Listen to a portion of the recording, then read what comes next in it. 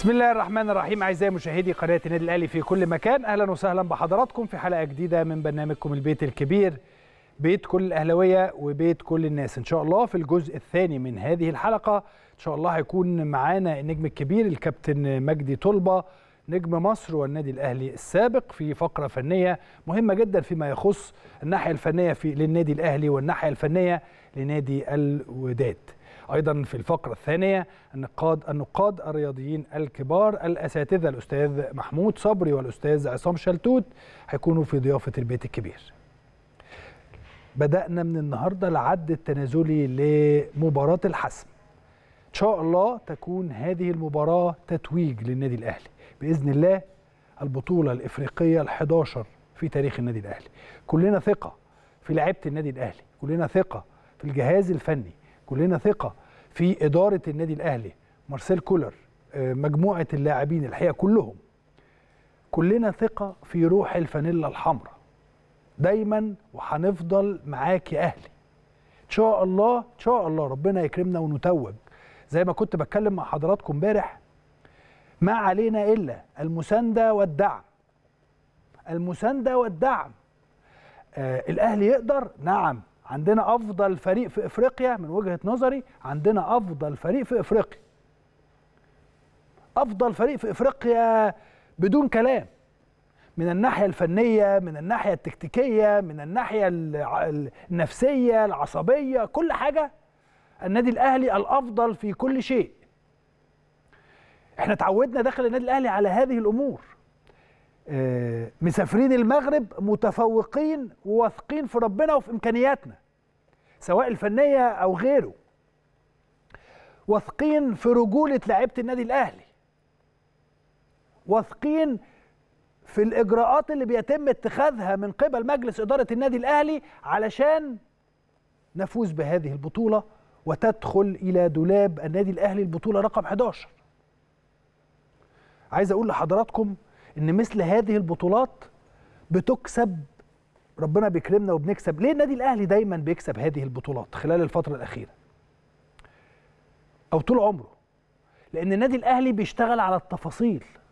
النادي الأهلي بيشوف الأخطاء اللي حصلت قبل كده وبيصححها. النادي الأهلي بيرى الأمور من منظور مختلف ومن شكل مختلف. صدقوني الكلام اللي أنا بقوله ده والله أقسم بالله ما هو تطبيل. هذه هي الحقيقة. عندنا أخطاء حصلت في سنين سابقة بيتم تداركها في السنة اللي بعدها واللي بعدها وهكذا. عشان كده النادي الأهلي دائما متفوق. عشان كده النادي الأهلي دايما متفوق وعشان كده يظل دائما النادي الأهلي. هنفضل نحب النادي الأهلي مهما كانت النتيجة ومهما كانت الظروف ومهما كانت الأمور ما عندناش أي مشكلة في أي حاجة. كل اللي إحنا هنعمله أو اللي إحنا نملكه في هذه اللحظات ان إحنا نساند وندعم لعيبة النادي الأهلي. مرة تانية أنتوا أفضل لعيبة. مرة تانية إحنا واثقين فيكم بشكل كبير جدا جدا جدا. أنا أنا عايز أقول لحضراتكم إن إحنا مش مضغوطين.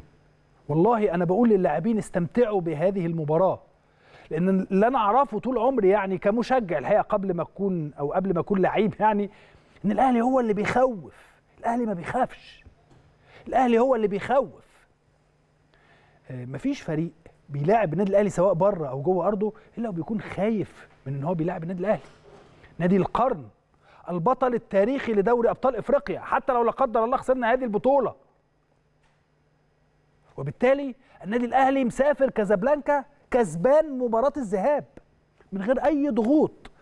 وإن شاء الله ربنا يكرمنا. وهنلعب تاني على المكسب في كازابلانكا. مش جديدة على النادي الأهلي. أنا حكيت لحضراتكم امبارح حاجات كتيرة جدا تشرفت بإن أنا أكون حاضر في واحدة منهم. الأهلي كسب كسب الوداد في كذا في دوري الأبطال قبل كده مرتين. إحنا مسافرين ومعانا أفضلية نتيجة لقاء الذهاب. مش أنا اللي هكون مضغوط الوداد اللي هيكون مضغوط. الوداد هيكون مضغوط بجماهيره بخسارته في القاهرة. هيلعب تحت ضغط هذا الجمهور الكبير المحترم. الواعي جمهور المغرب طبعا جمهور رائع. مرة تانية وخليني أأكد لحضراتكم إن لعيبة النادي الأهلي بعيدين تماما عن الإعلام والسوشيال ميديا. كل تركيزهم فق في شيء واحد فقط إن أنا أسافر بكرة الخميس إن شاء الله هيسافروا العصر يوصلوا هركز في مباراة ال 90 دقيقة اللي هلعبهم إن شاء الله يوم الأحد بالليل عشان إيه؟ عشان حاجة واحدة أكسب هذه المباراة وأرجع بالبطولة. النتيجة دي مش بتاعتي النتيجة بتاعت ربنا. أنا كلاعب عليا الاجتهاد. عليا إن أنا أقف مع المدير الفني بيقول لي إسلام مثلا يعني كان جوزيه أنا مش عايزك تخش لجوه يا إسلام أنا عايزك دايما تجري على الخط أو تروح من على الخط. خلاص همشي على الخط مع ان أعرف أخش جوه. لأ هو عايزني أخش على الخط أو أمشي من على الخط علشان يبقى بيفتح سبيس أو بيفتح مساحة لحد إن هو يخش فيها تاني. فدي خطة المدير الفني اللي أنا لازم ألتزم بيها كلاعب. إن شاء الله ترجعوا بالبطولة تفرحونا. تفرحوا جمهور النادي الأهلي تفرحوا مصر كلها. وتكملوا كتاب التاريخ بقالكوا 3 4 5 سنين بتكتبوه. حضراتكم كلاعبين بتكتبوا هذا التاريخ باسم ومع النادي الأهلي. أنا مش هتكلم عن تحكيم ولا هتكلم عن حضور جماهيري ولا هتكلم عن أشياء بره الملعب. أنا كل اللي هتكلم عنه 90 دقيقة تفصل النادي الأهلي عن لقب دوري أبطال إفريقيا. بالمناسبة لما باجي ألعب مباراة ما بخشش مباراة أنا كأهلي يعني النادي الأهلي ما بيخشش هذه المباراة عشان ياخد طار. اصل الوداد كسبني فانا السنة اللي فاتت فانا اكسبه. لا كرة القدم غير كده خالص. إحنا بنلعب كوره عندنا عندنا فريق أنا واثق في فريق جدا. بالمناسبة أنا امبارح شكرت مجموعة اللاعبين اللي كانوا ال11 اللي لعبوا المباراة الأخيرة وكل الفريق أنا شكرت فريق النادي الأهلي. شكرت مجلس إدارة النادي الأهلي على موسم رائع. هيبقى أكثر روعة إن شاء الله بفوزنا يوم الأحد. من وجهة نظري إن إحنا عندنا فريق هو الأفضل في القارة. من وجهة نظرنا بالأرقام وبالأداء. فلما يبقى أنا كمشجع أو كمحب للنادي الأهلي عندي فريقي بالأرقام أفضل فريق يبقى أنا من حقي إن أنا أبقى بنظر لإن أنا آخد هذه البطولة. الهدف بتاعي هو تحقيق الفوز بإذن الله. أو الخروج بنتيجة إيجابية زي ما حضراتكم عارفين. المؤشرات وإزاي النادي الأهلي يفوز بهذه البطولة. أي حد هيتكلم في أي اتجاه تاني فهي محاولة للتشتيت. أي حد هيتكلم في أي حاجة تانية غير التس... وجهة نظري أو اللي أنا هعمله إن أنا هتكلم في ال 90 دقيقة فقط. لكن إحنا كأهلاوية وقناة النادي الأهلي هيكون كل تركيزنا على تشجيع اللاعبين دعم الفريق دعم الجهاز الفني لتحقيق الهدف. عشان حاجة واحدة تحصل. بعد الماتش أحتفل أتبسط.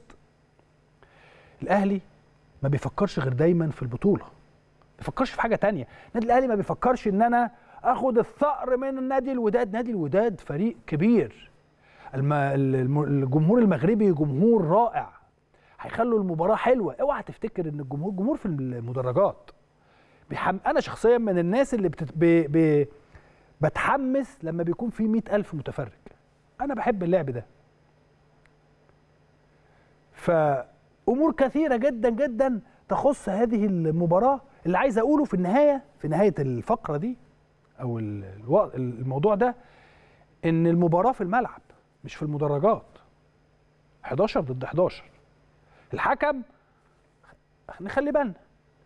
مش عايز أقول لك حاجة. الحمد لله تأكدنا إن بملكة سيمبا هيلعب هذه المباراة وعنده عقد مكمل لغاية شهر 4 24 فخلاص. ما عندنا مش هنتكلم في أي حاجة أخرى. عشان كده إحنا بنفكر بس في البطولة. عموما خلينا نروح نشوف تقرير مهم جدا. نروح نشوف هذا التقرير ونرجع نكمل كلامنا. الحقيقة على الرغم من إن إحنا مركزين أو كل الناس مركزة على مباراة الأهلي والوداد ولكن الحقيقة خلال الكام يوم اللي فاتوا الحمد لله كان دور قناة النادي الأهلي ودور إعلام النادي الأهلي في إبراز اللي بيحصل في مقر النادي الأهلي في التجمع الخامس شيء رائع جدا.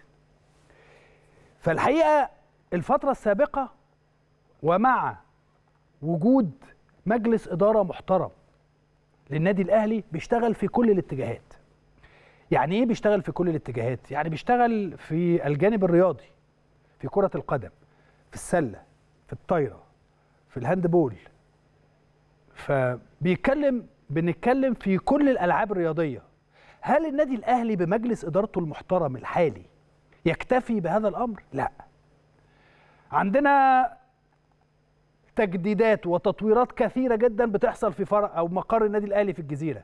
تجديدات بتحصل في مقر النادي الأهلي و حاجات كتيرة. جديدة بتتحط في مقر النادي الأهلي في الشيخ زايد. مدينة نصر واللي بيحصل في مدينة نصر والجمال والحلاوة اللي بتحصل في مدينة نصر. اليومين ثلاثة اللي فاتوا بعد يوم 1 6 وافتتاح مقر النادي الأهلي في التجمع الخامس. من يومين كان في أحد أصدقائي في مقر النادي الأهلي في التجمع الخامس. لقيت بيقول لي يا كابتن فبعت لي صور. طوابير. الناس واقفة طوابير لغاية الباب الخارجي اللي حضراتكم شفتوه على قناة النادي الأهلي هنا في يوم الافتتاح. واقفين بالناس كتيرة جدا جدا جدا تنتظر دورها علشان تخش تقعد في النادي وتستمتع وتشترك وت- وتكون من أعضاء النادي الأهلي. الحقيقة اللي بيبقى مسؤول عن هذه الأمور هو مجلس إدارة النادي الأهلي. ولكن لجنة العضوية برئاسة الأستاذ طارق قنديل عملت مقابلات كثيرة جدا مع الراغبين في الحصول على عضوية أهلي القاهرة الجديدة وباقي طبعا المقرات وفروع النادي الأهلي.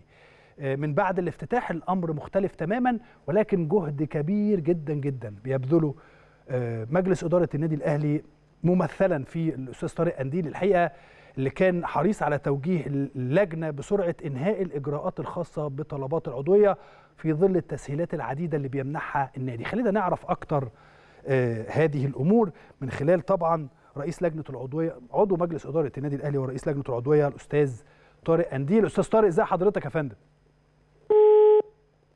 ألو؟ معاه تليفون طيب معلش التليفون وقف أنا خليني بس أقول لحضراتكم إيه اللي بيحصل. اللي بيحصل أن هناك تطور كبير جدا جدا واضح في كل المجالات. أنا عايز حضراتكم كده تعملوا search على الجوجل وتعرفوا. هل في نادي في العالم؟ أنا ما بتكلمش على مصر ولا على أفريقيا ولا على الوطن العربي أنا بتكلم على العالم كله. هل في نادي في العالم عنده أربع مقرات بهذا الشكل وبهذا الر... وبهذه الروعة؟ هل في نادي في العالم بيصرف في ظل هذه الأزمة علشان يجي له؟ ما هو ما هو أنت دلوقتي الاشتراكات دي بتجيب لك فلوس كويسة علشان تقدر تعمل المينتننس أو تعمل الصيانة بتاعه المقرات كلها. على فكرة فلوس كتيرة جدا جدا بتدفع لمجرد الصيانة. فلوس كتيرة جدا جدا بتدفع في النظافة. فلوس كتيرة جدا جدا بتدفع في الزراعة. فلوس كتيرة جدا وفرص عمل مباشرة بتبقى موجودة في كل مقرات النادي الأهلي. الحقيقة اللي عنده موظفين وعمال كتير جدا جدا يقدروا أو الحقيقة بيساعدوا إن دايما أعضاء النادي الأهلي أو أعضاء الجمعية العمومية في النادي الأهلي يكونوا آه، أو بينتظروا أو يكونوا قاعدين في النادي الأهلي. النادي الأهلي يا جماعة قعدته برضه مختلفة صدقوني. اللي ما راحش النادي الأهلي أو اللي لسه بيفكر إن هو يشترك عايزين حضراتكم تروحوا وتشتركوا في مقر النادي الأهلي. سواء في في كل المقرات طبعا ولكن أنا بتكلم الناس اللي ناحية التجمع والحتت دي يروحوا يشوفوا أهل النادي الأهلي أو النادي الأهلي في مقره الجديد في التجمع الخامس عامل إزاي؟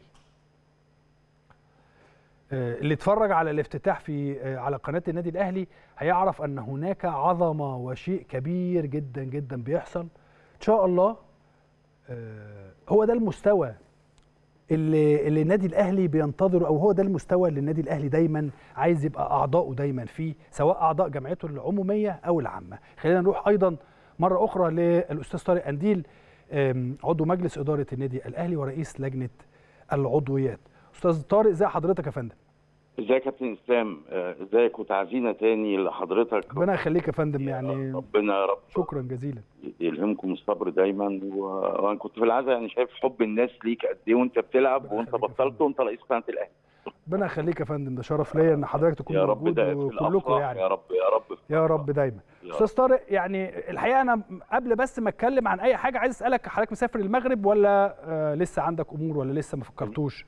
إن شاء الله مسافر بكرة مع بيست إن شاء الله. ما أنا برضو أنا عارف إن عدد من مجلس الإدارة الحمد لله يعني أنا وزمايلي رايحين طبعا وكابتن محمود الخطيب طالع بكرة إن شاء الله. السلامة إن شاء الله. ثقتنا كبيرة جدا في النادي الأهلي وروح الفانيلا الحمراء.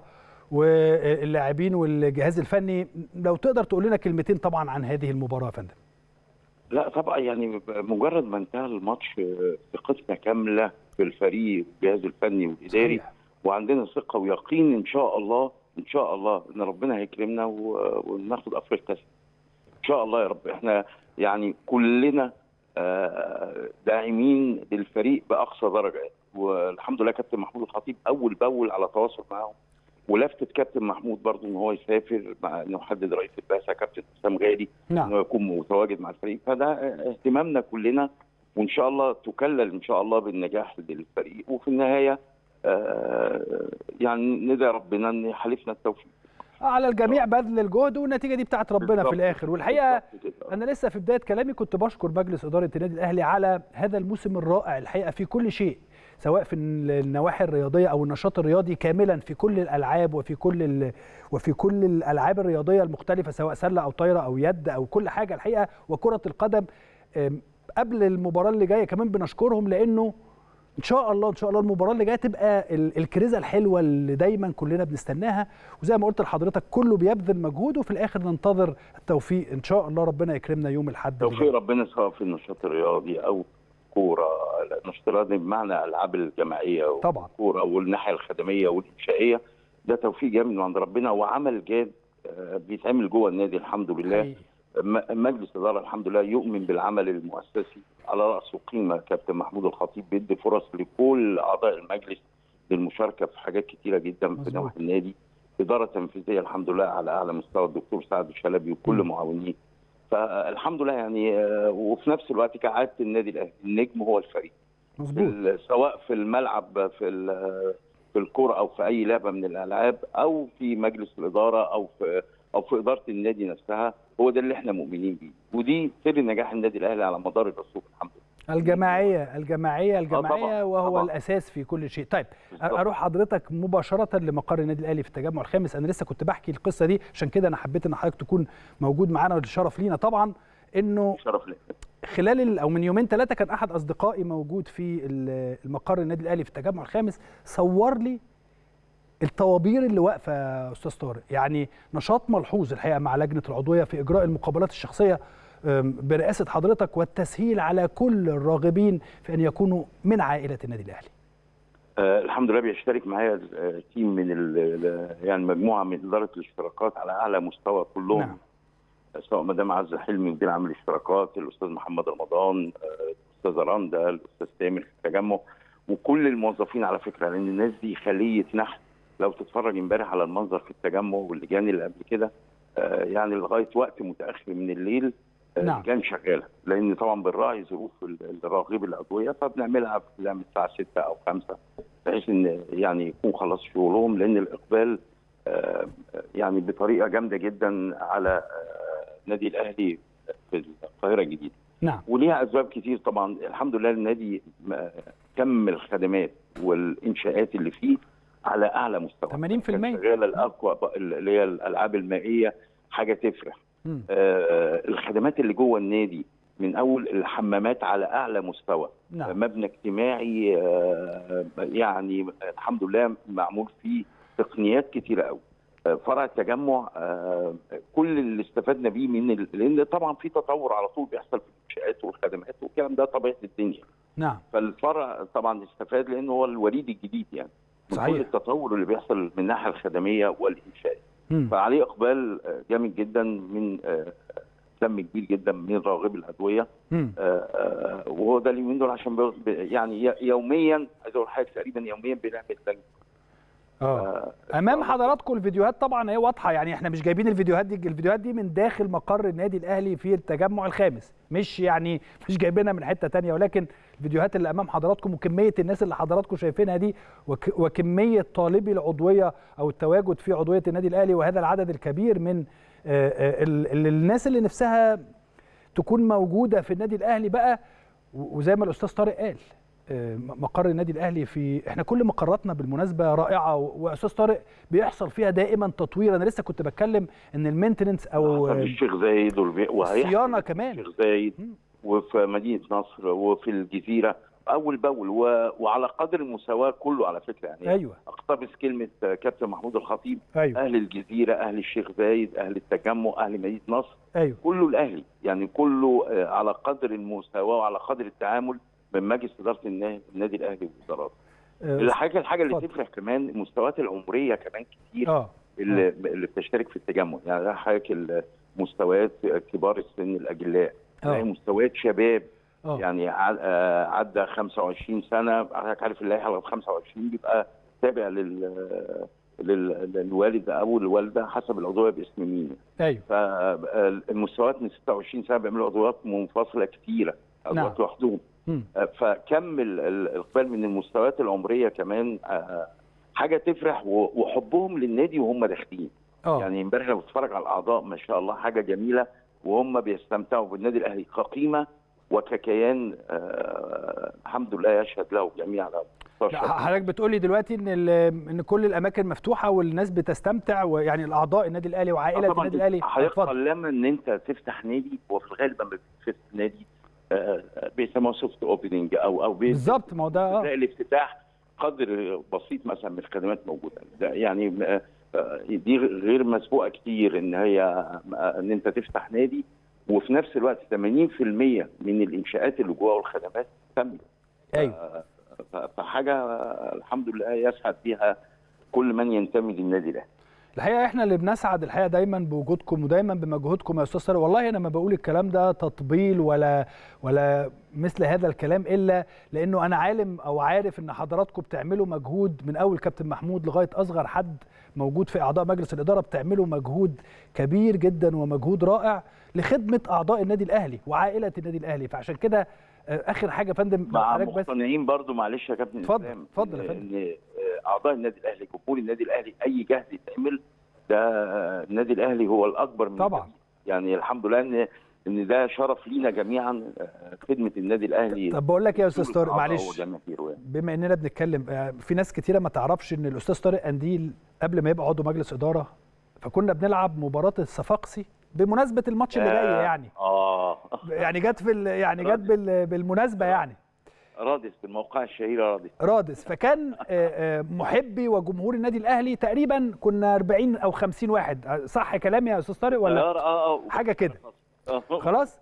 كنا 40 50 واحد. من ضمن هؤلاء المشجع ومحب النادي الأهلي طارق قنديل. أستاذ طارق قنديل. ونحط. خلاص؟ كنا قاعدين جنب بعض في صورة معايا لغاية دلوقتي. مظبوط. فالأستاذ طارق قنديل شاهد على ما حدث وشاهد على آه، إيه اللي حصل في رادس لما الناس كلها الصورة الرئيسية كابتن حسن حمدي. كابتن خطيب. خطيب. طبعا. أنا كنت موجود ساعتها كان الاخوه التوانسة عازميني يعني. آه. كنت متواجد ساعتها ولن أنسى اللحظة دي. أيوه. آه، معلش يا أستاذ طارق بعد إذنك اشرح لنا ال- الفترة دي. ليه أنا بقولها؟ لأنه آه، الفترة اللي فاتت أو بعد المباراة الأخيرة في ناس تحس إن إن بتحاول بعض من لا يشجع النادي الأهلي يعني بيحاول إن هو يدخل بعض الإحباط لجمهور النادي الأهلي أو للاعيبة النادي الأهلي. ال- اللقطة اللي حضرتك بتتكلم فيها دي وجود الكابتن خطيب والكابتن حسن حمدي والكابتن خطيب في آه، مقصورة دليل الثقة ودليل التواجد وكل ما ودليل الثقة في اول على فكرة والماتش انتهى في القاهرة بنتيجة يعني ما هو ده. مرضيه بالمرة كان واحد واحد. واحد واحد آه. واحد واحد. واحد واحد وكان كل اللعيبه بجهاز بإدارة. نعم. والله لغاية دلوقتي فاكر تعليقات من من بعضكم ساعتها وإحنا في مطار القاهرة لم فرق آه، إن شاء الله هنكسب بثقة آه، جامدة جدا. آه. ده من جواه ده إحنا واحد واحد في القاهرة. إيه الثقة اللي فيها الناس دي؟ آه، حاجة طبعا يعني لحظة من اللحظات ال- الجميلة. وقدر ربنا ورزقه والحمد لله عشان يعني المجهود اللي اتعمل وعشان النيات ان إحنا عندنا ثقة في ربنا ان هني- ربنا هيكرمنا. لن انسى كنا دقيقة 91 تقريبا. أيوه مظبوط. خلاص وال وصولة الاستاد خلاص بيحتفل والكل بيحتفل.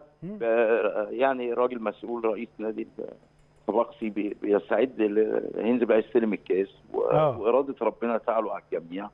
وإذا بنا فرحة من الفرحات الجميلة في العمر حقيقي وثقتنا كبيرة جدا في هذا الجيل من اللاعبين اللي موجود الحالي الحقيقة لأنه عمل إنجازات كبيرة جدا جدا خلال الثلاث أو الأربع سنين اللي فاتت لأن. هذه هي جينات النادي الأهلي.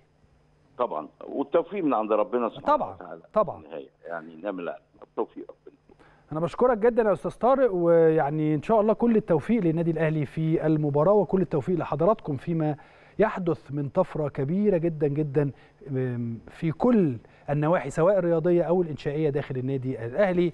مجلس إدارة محترم برئاسة كابتن محمود الخطيب أعتقد هذا المجلس يستحق كل التحية وكل التقدير. خلينا نطلع فاصل وبعد هذا الفاصل هنرجع بقى نتكلم عن أخبارنا أخبار البيت الكبير. أهلا وسهلا بحضراتكم مرة أخرى. خلينا نروح لأخبار المنتخب مباشرة لأن إحنا اتكلمنا كثيرا عن أخبار النادي الأهلي. خمسة وجوه جديدة في قائمة منتخب مصر استعدادا لمواجهتي غينيا. الحقيقة أكتر حاجة لفتت نظري أنت عندك ثمان لاعبين النادي الأهلي موجودين في منتخب مصر. القائمه اللي أعلنها روي فيتوريا اللي كانت أمام حضراتكم دلوقتي حطها لنا سمير. دي القائمه زي ما حضراتكم شايفين الشناوي صبحي أبو جبل هاني هشام صلاح أحمد رمضان بيكم ياسر إبراهيم علي جبر عبد المنعم محمود مرعي محمد حمدي أبو الفتوح مروان عطية مهند لاشين حمدي فتحي غنام محمود حمادة أحمد سيد زيزو آه، غنام محمد طبعا محمد هلال محمد رضا بوبو محمد صلاح مصطفى فتحي حسين الشحات عمر مرموش آه، تريزيجيه كهربا أحمد ياسر ريان مصطفى محمد. طيب أنا بس عايز أبدأ أقول لحضراتكم تشكيل النادي الأهلي ال- في أي مباراة يعني. الشناوي موجود في المنتخب محمد هاني موجود في المنتخب محمد عبد المنعم موجود في المنتخب ياسر إبراهيم موجود في المنتخب. علي معلول منتخب تونس. طيب نص وسط الملعب. اليو ديانج منتخب مالي. آه حمدي فتحي منتخب مصر. آه مروان عطية منتخب مصر. حسين الشحات منتخب مصر. بيرسي تاو منتخب جنوب إفريقيا. كهربا منتخب مصر. يعني لو جينا بقى بصينا على أبناء النادي الأهلي في كل المجموعة اللي موجودة دي هتلاقي كتير جدا يعني ومحبي النادي الأهلي مش عايز أقول لحضرتك لكن اللي أقصد أقوله لحضراتكم إن إحنا عندنا ثقوا في لعيبتكم عندنا مجموعة لاعبين محترمة وعلى أكمل وجه. خلينا أتكلم مبدئيا مثلا عن بابا الشغلانة. بابا الشغلانة في حراسة المرمى. لما تيجي تتكلم عن بابا الشغلانة في حراسة المرمى لو قلت لك مين بابا الشغلانة في حراسة المرمى في مصر دلوقتي كأهلاوي أو غيره هتقول لي مين؟ أيوه. محمد الشناوي. محدش هيقول لي فلان الفلاني. محدش هيقول لي علان العلان لا هتقول لي لو قلت لك مين أفضل حارس مرمى في مصر؟ قفل كل حاجة. عمل الشناوي عمل كل حاجة. الشناوي أفضل لاعب في إفريقيا محليا محليا. أفضل لاعب خد بالك مش أفضل حارس مرمى. غير إن هو أفضل حارس مرمى في إفريقيا. خد بطولة دوري أبطال إفريقيا. كم مرة شوف محمد الشناوي آه وصل كم كأس العالم كم مرة؟ كأس العالم للأندية. ثم لعب مع منتخب مصر كأس العالم. فأنت بتتكلم فعلا عن بابا الشغلانة. يعني لما تيجي تتكلم عن محمد الشناوي أو لما تيجي تتكلم عن حراسة المرمى في مصر لازم هتتكلم عن محمد الشناوي. نمرة واحد. ولما نيجي نقول نمرة اتنين محمد الشناوي. أنا أنا بس مش عايز لأن الشناوي له دور بعيدا عن حراسة المرمى كمان. وهو الشيء الأفضل اللي بيعمله محمد الشناوي في حراسته لمرمى النادي الأهلي ومنتخب مصر. ولكن ككابتن لفريق النادي الأهلي وواحد من كباتن منتخب مصر. دوره واضح بشدة معانا كأهلي ومع منتخب مصر في اللي بيعمله. حقيقة محمد الشناوي هذا الاسم الكبير يستحق كل التحية وكل التقدير. في بعض الأوقات البعض بياخد الشناوي في اتجاهات أخرى ولكن الشناوي ما بيعملش كده. ما بيروحش مع الناس. الشناوي بيركز في حاجة واحدة فقط. الملعب. المستطيل الأخضر. المستطيل الأخضر هو اللي بيخلينا نقول هذا الكلام. هو اللي بيخلينا نقول لما نيجي نتكلم عن بابا الشغلانة في حراسة المرمى في مصر نقول محمد الشناوي. خلينا نطلع نشوف هذا كليب ونرجع نكمل.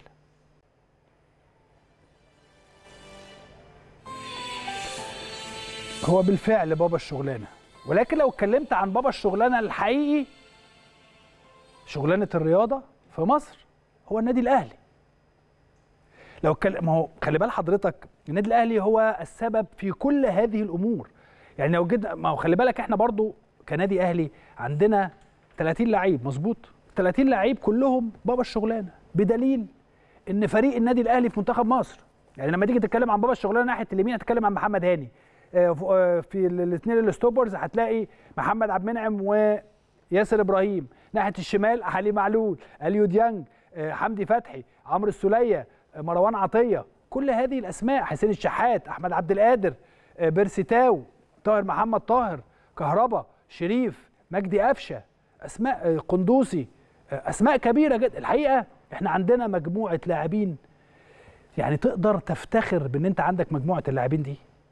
هم دول إن شاء الله اللي هنقف أو هنبقى في ظهرهم علشان إن شاء الله يوم الأحد نستطيع أن نفوز آه، بدوري أبطال إفريقيا. ولكن قبل يوم الأحد هؤلاء اللاعبين يستحقوا كل التحية كل الاحترام على اللي فات ولكن ننتظر منكم المزيد إن شاء الله يوم الأحد القادم آه، روي فيتوريا اتكلم النهارده في المؤتمر الصحفي والحقيقة كانت ناس كتيرة جدا بتسأله عن محمد الشناوي وكلام كتير جدا قال ولكن خلينا نطلع نشوف جزء من المؤتمر الصحفي ونرجع نكمل مع حضراتكم بقية هذه الحلقة Vamos começar por fazer a apresentação daquilo que se vai passar nos próximos dias. أول حاجة هنقدم إيه البرنامج بتاعنا أو اللي هنعمله إن شاء الله في الأيام القادمة. Estágio de junho, eh, com dois jogos. آه، معسكر شهر يونيو آه، يتضمن مباراتين. Eh, e, portanto, só para fazermos mais ou menos este o plano, o plano de, de ação, عشان نعمل الخطة بتاعه المعسكر. Nós vamos começar a trabalhar a 10. هنبدأ إن شاء الله العمل بتاعنا يوم 10 eh, depois iremos ter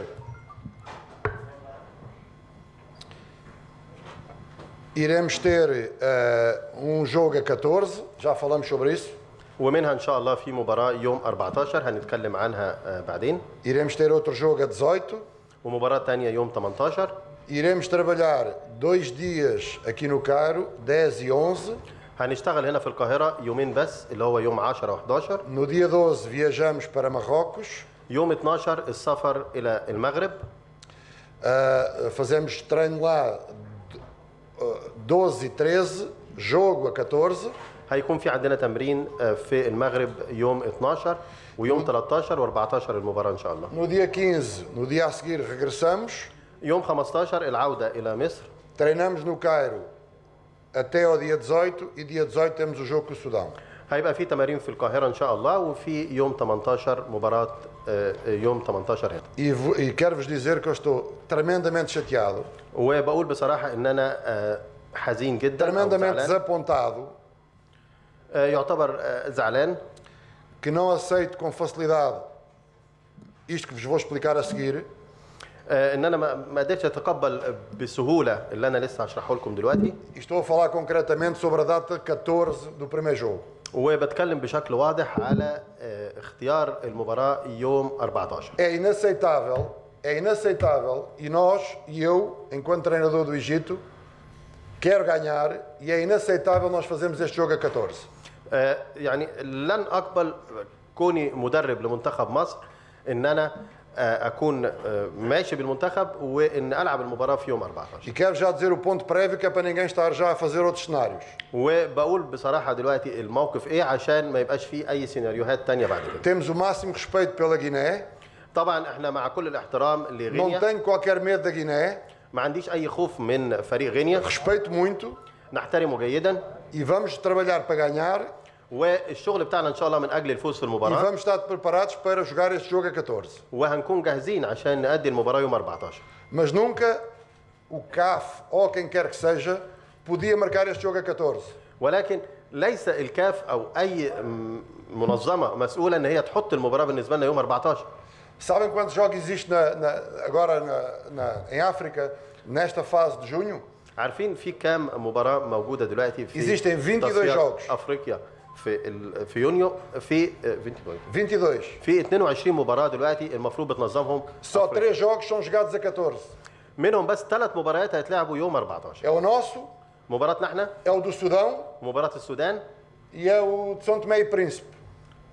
São Tomé e Príncipe. سانتو ماي برنسيب آه، مدينه آه، بلد ثالثه بس ما اعرفهاش بصراحه São três jogos que existem. Todos os outros vão ser jogados a Tá na 16, a 17, a 18, a 19 ou 20. هيكون بعد كده المباريات من يوم 17 و18 و19 و20 نوش في زامزون بديدو إحنا قدمنا طلب. ديشت في فبراير كشتمز فلار كما كاف من أول شهر فبراير وإحنا بنتحدث مع الكاف. الشوك فوسين تود جوج ديج منز 14 عشان تكون المباراة بتاعتنا مش يوم 14 ما دامش تريش أرسلنا ثلاث خطابات.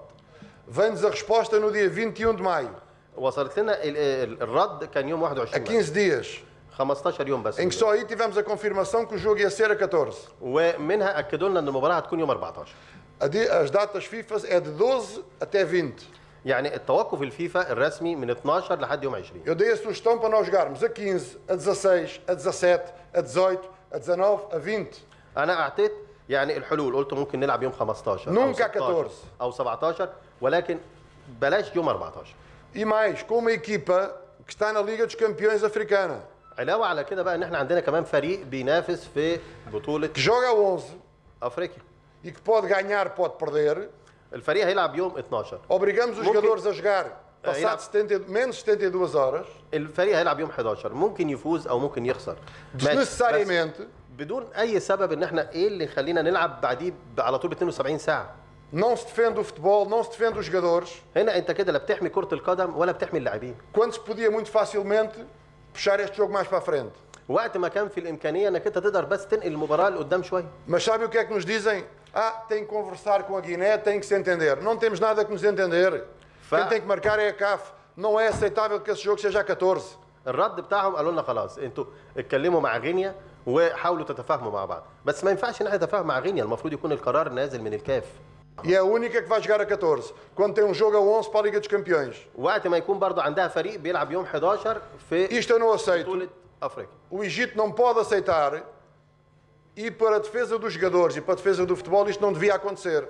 فبصراحة مصر لن يجب أن تقبل هذا وخاصة من أجل حماية اللاعبين ومن أجل حماية كرة القدم يعني كلام مهم جدا قاله الحقيقة روي فيتوريا المدير الفني لمنتخبنا الوطني الحقيقة برضو الاتحاد الأفريقي له أشياء عجيبة جدا. لكن في النهاية هنلعب يوم 14 والأهلي هيلعب يوم 11 ما فيش أي مجال لأمور أخرى. عموما النهارده كمان ال social media كانت بتتكلم عن بيان نشره الاتحاد الدولي للاعبين المحترفين وكان على الموقع الرسمي وبيحذر فيه اللاعبين من التعاقد أمام حضراتكم مع أندية الدوري المصري.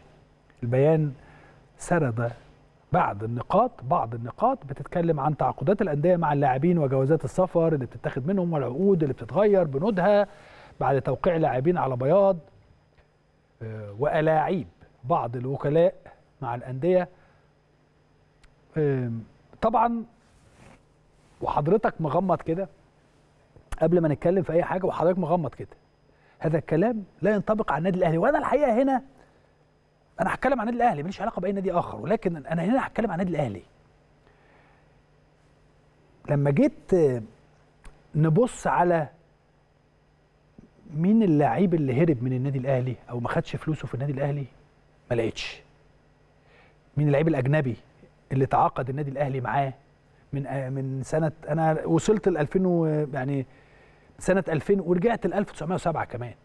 للنهاردة لو لقيت لو لقيت حضراتكم لعيب واحد بيشتكي أو بيقول أنا بشتكي النادي الأهلي أو ليا فلوس عند الأهلي ساعتها هنبقى نتكلم. البيان بينطبق على أندية بعينها ومعروفين. والله لا أقصد شيء ولكن معروفين. بالمناسبة مش بس الدوري المصري اللي نزل له البيان ده نزل لدوريات كتيرة زي اليونان وتركيا والجزائر ودور ودوريات في غرب إفريقيا. لكن أنا مش همسك في البيان وأقول فضيحة للكرة المصرية والكلام ده لا لأن الاتحاد الدولي للاعبين المحترفين عنده بعض المواقف الغريبة يعني ومسطرته ما بتبقاش دايما واحدة ولكنه أكيد إساءة. فأنا هنا بقول لرابطة الأندية المحترفة وبقول لاتحاد كرة القدم إن لازم حضراتكم يكون عندكم دور رقابي أكتر من على الأندية بالمناسبة آه، اللي وصل اللي وصلت سمعة الأندية بين قوسين اللي وصلت سمعة كرة القدم المصرية دوليا للي إحنا شايفينه. لازم تقعدوا معاهم وتعملوا لهم حتى لو آه، آه، يدرسوا بعض أو حضراتكم تدرسوا الأسباب وتشوفوا الأندية اللي عندها مشاكل وتقعدوا معاهم مش بالمناسبة مش عيب وتعلموهم الصح. اعملوا لهم ورش عمل. أو ادعوا الاتحاد الدولي للاعبين المحترفين عشان يعمل ورش عمل لهذه الأندية. علشان نغير الصورة عن الدوري المصري. فطلع النادي الأهلي بره القصة دي تماما. لازم يكون في تفكير منطقي يكون عندك حلول على الأرض. عشان الدوري المصري مش عايزينه يتراجع. أنا بس حبيت بسرعة أقول هذا الكلام لأنه لو جينا رجعنا بصينا على تصريحات اللاعب. يعني لو جينا مثلا سواريش مشي من النادي الأهلي بعد خمس ست شهور تم اختياره أفضل مدرب في البرتغال ساعتها قال إيه؟ قال افضل أوقات حياتي وأنا في آه، افريقيا وأنا بدرب النادي الأهلي اللي هو قعد فيه شهرين ثلاثة وقال إن النادي الأهلي هو آه، ريال مدريد إفريقيا مع إني تمام ده سوارش وعدد كبير من المدربين فايلر لما مشي قال لك مش عارف إيه وبتاع لكن الراجل أتكلم منتهى الاحترام والود والحب عن النادي الأهلي. أي مدير فني أنا اللي بفتكره بقوله أي مدير فني. كارتيرون لما مشي. آه، مارتن لما مشي. أهو قال لك الأهلي يشبه بايرن ميونخ مش أنا اللي بقول بالمناسبة. فالكلام ده الحقيقة يعني آه، موسيماني لما مشي. عاملني بشكل جيد ودفع لي كل مستحقاتي وأنا من رحلت ده موسيماني. كلهم كل واحد بيتكلم بطريقته وأسلوبه يعني كثيرة جدا. النجم النجم الساحلي بيتكلم إزاي عن النادي الأهلي؟ حاجات هو ده النادي الأهلي بالمناسبة. كل بالي أهو. قال لك أنا ندمت على الهروب من النادي الأهلي وأتمنى العودة. فما أعرفش دي تتحل إزاي ولكن أنا ما عنديش غير اتحاد كرة القدم ورابطة الأندية اللي أنا أقول لهم يا جماعة اعملوا ورش عمل للناس اللي مش يعني الناس اللي بت بتخلي منظرنا كده قدام العالم. وطلعوا النادي الأهلي بره هذه القصة. عموما خلينا نطلع فاصل وبعد هذا الفاصل النهارده زي ما قلت لحضراتكم عندي في الجزء الأول النجم الكبير كابتن مجدي طلبة. كابتن مجدي عنده آراء فنية مختلفة بنحب نسمعه نشوف آراءه في مثل هذه المباريات بيكون عامل إزاي لأنه ياما عدى عليه مثل هذه المباريات ولعب في كأس العالم لعب في آه، آه، آه، مع النادي الأهلي مباريات كثيرة جدا. عموما خلينا نطلع فاصل وبعد هذا الفاصل نستقبل النجم الكبير كابتن مجدي طلبة في البيت الكبير. أهلا وسهلا بحضراتكم مرة أخرى أعزائي المشاهدين. خلوني أرحب بضيفي والنجم الكبير. هو الحقيقة مش ضيف هو صاحب بيت النجم الكبير كابتن مجدي طلبه إزيك يا كابتن مجدي؟ مشرف ومنور وسعداء جدا بوجود حضرتك معانا. أنا أسعد بيك يا إسلام وشكرا ليك وجمهورنا. الاهلي وبنتهز الفرصة وأعزيك في الوالد. وبتأسف جدا ما قدرتش أجي لأن أو ما جيتش لأني ما كنتش أعرف غير امبارح. والدوام كابتن لله كفاية مكالمة على آخر الأحزان إن شاء الله. ربنا يخليك يا كابتن ربنا يبارك في حضرتك كابتن مجدي مثل هذه المباريات النادي الأهلي لعب نهائيات كثيرة جدا. اولا إيه رأيك في المباراة الأولى ونتيجة المباراة الأولى؟ لأنه أنا بقرا البعض من بعض من لا يشجع النادي الأهلي عشان ما حدش يقول لك جمهور الأهلي. من بعض من لا يشجع النادي الأهلي بيتكلم عن بعض الإحباط آه الانهزامية. إيه رأي حضرتك؟ لا ولا في إحباط ولا انهزامية ولا حاجة. النتيجة خلصت ب 2-1 مكسب فرق جول. آه 1-0 النتيجة أفضل من 2-1 في ظل اللائحة اللي موجودة الجول في حالة التعادل باثنين نعم. إنما مباراة زيها زي أي مباراة فيها سلبيات وفيها إيجابيات. الإيجابيات بتاعتها إن إحنا آه رحنا على الجول كتير آه اخترقنا كتير نسبة الاستحواذ بتاعتنا كانت كبيرة آه كان المفروض نهدف أكتر من. كده وكانت لنا الفرص إن إحنا نهدف أكتر من كده السلبيات بقى هي دي برضو ان إن أنت المفروض كنت. تنتهز الفرص اللي بتجيلك دي كلها.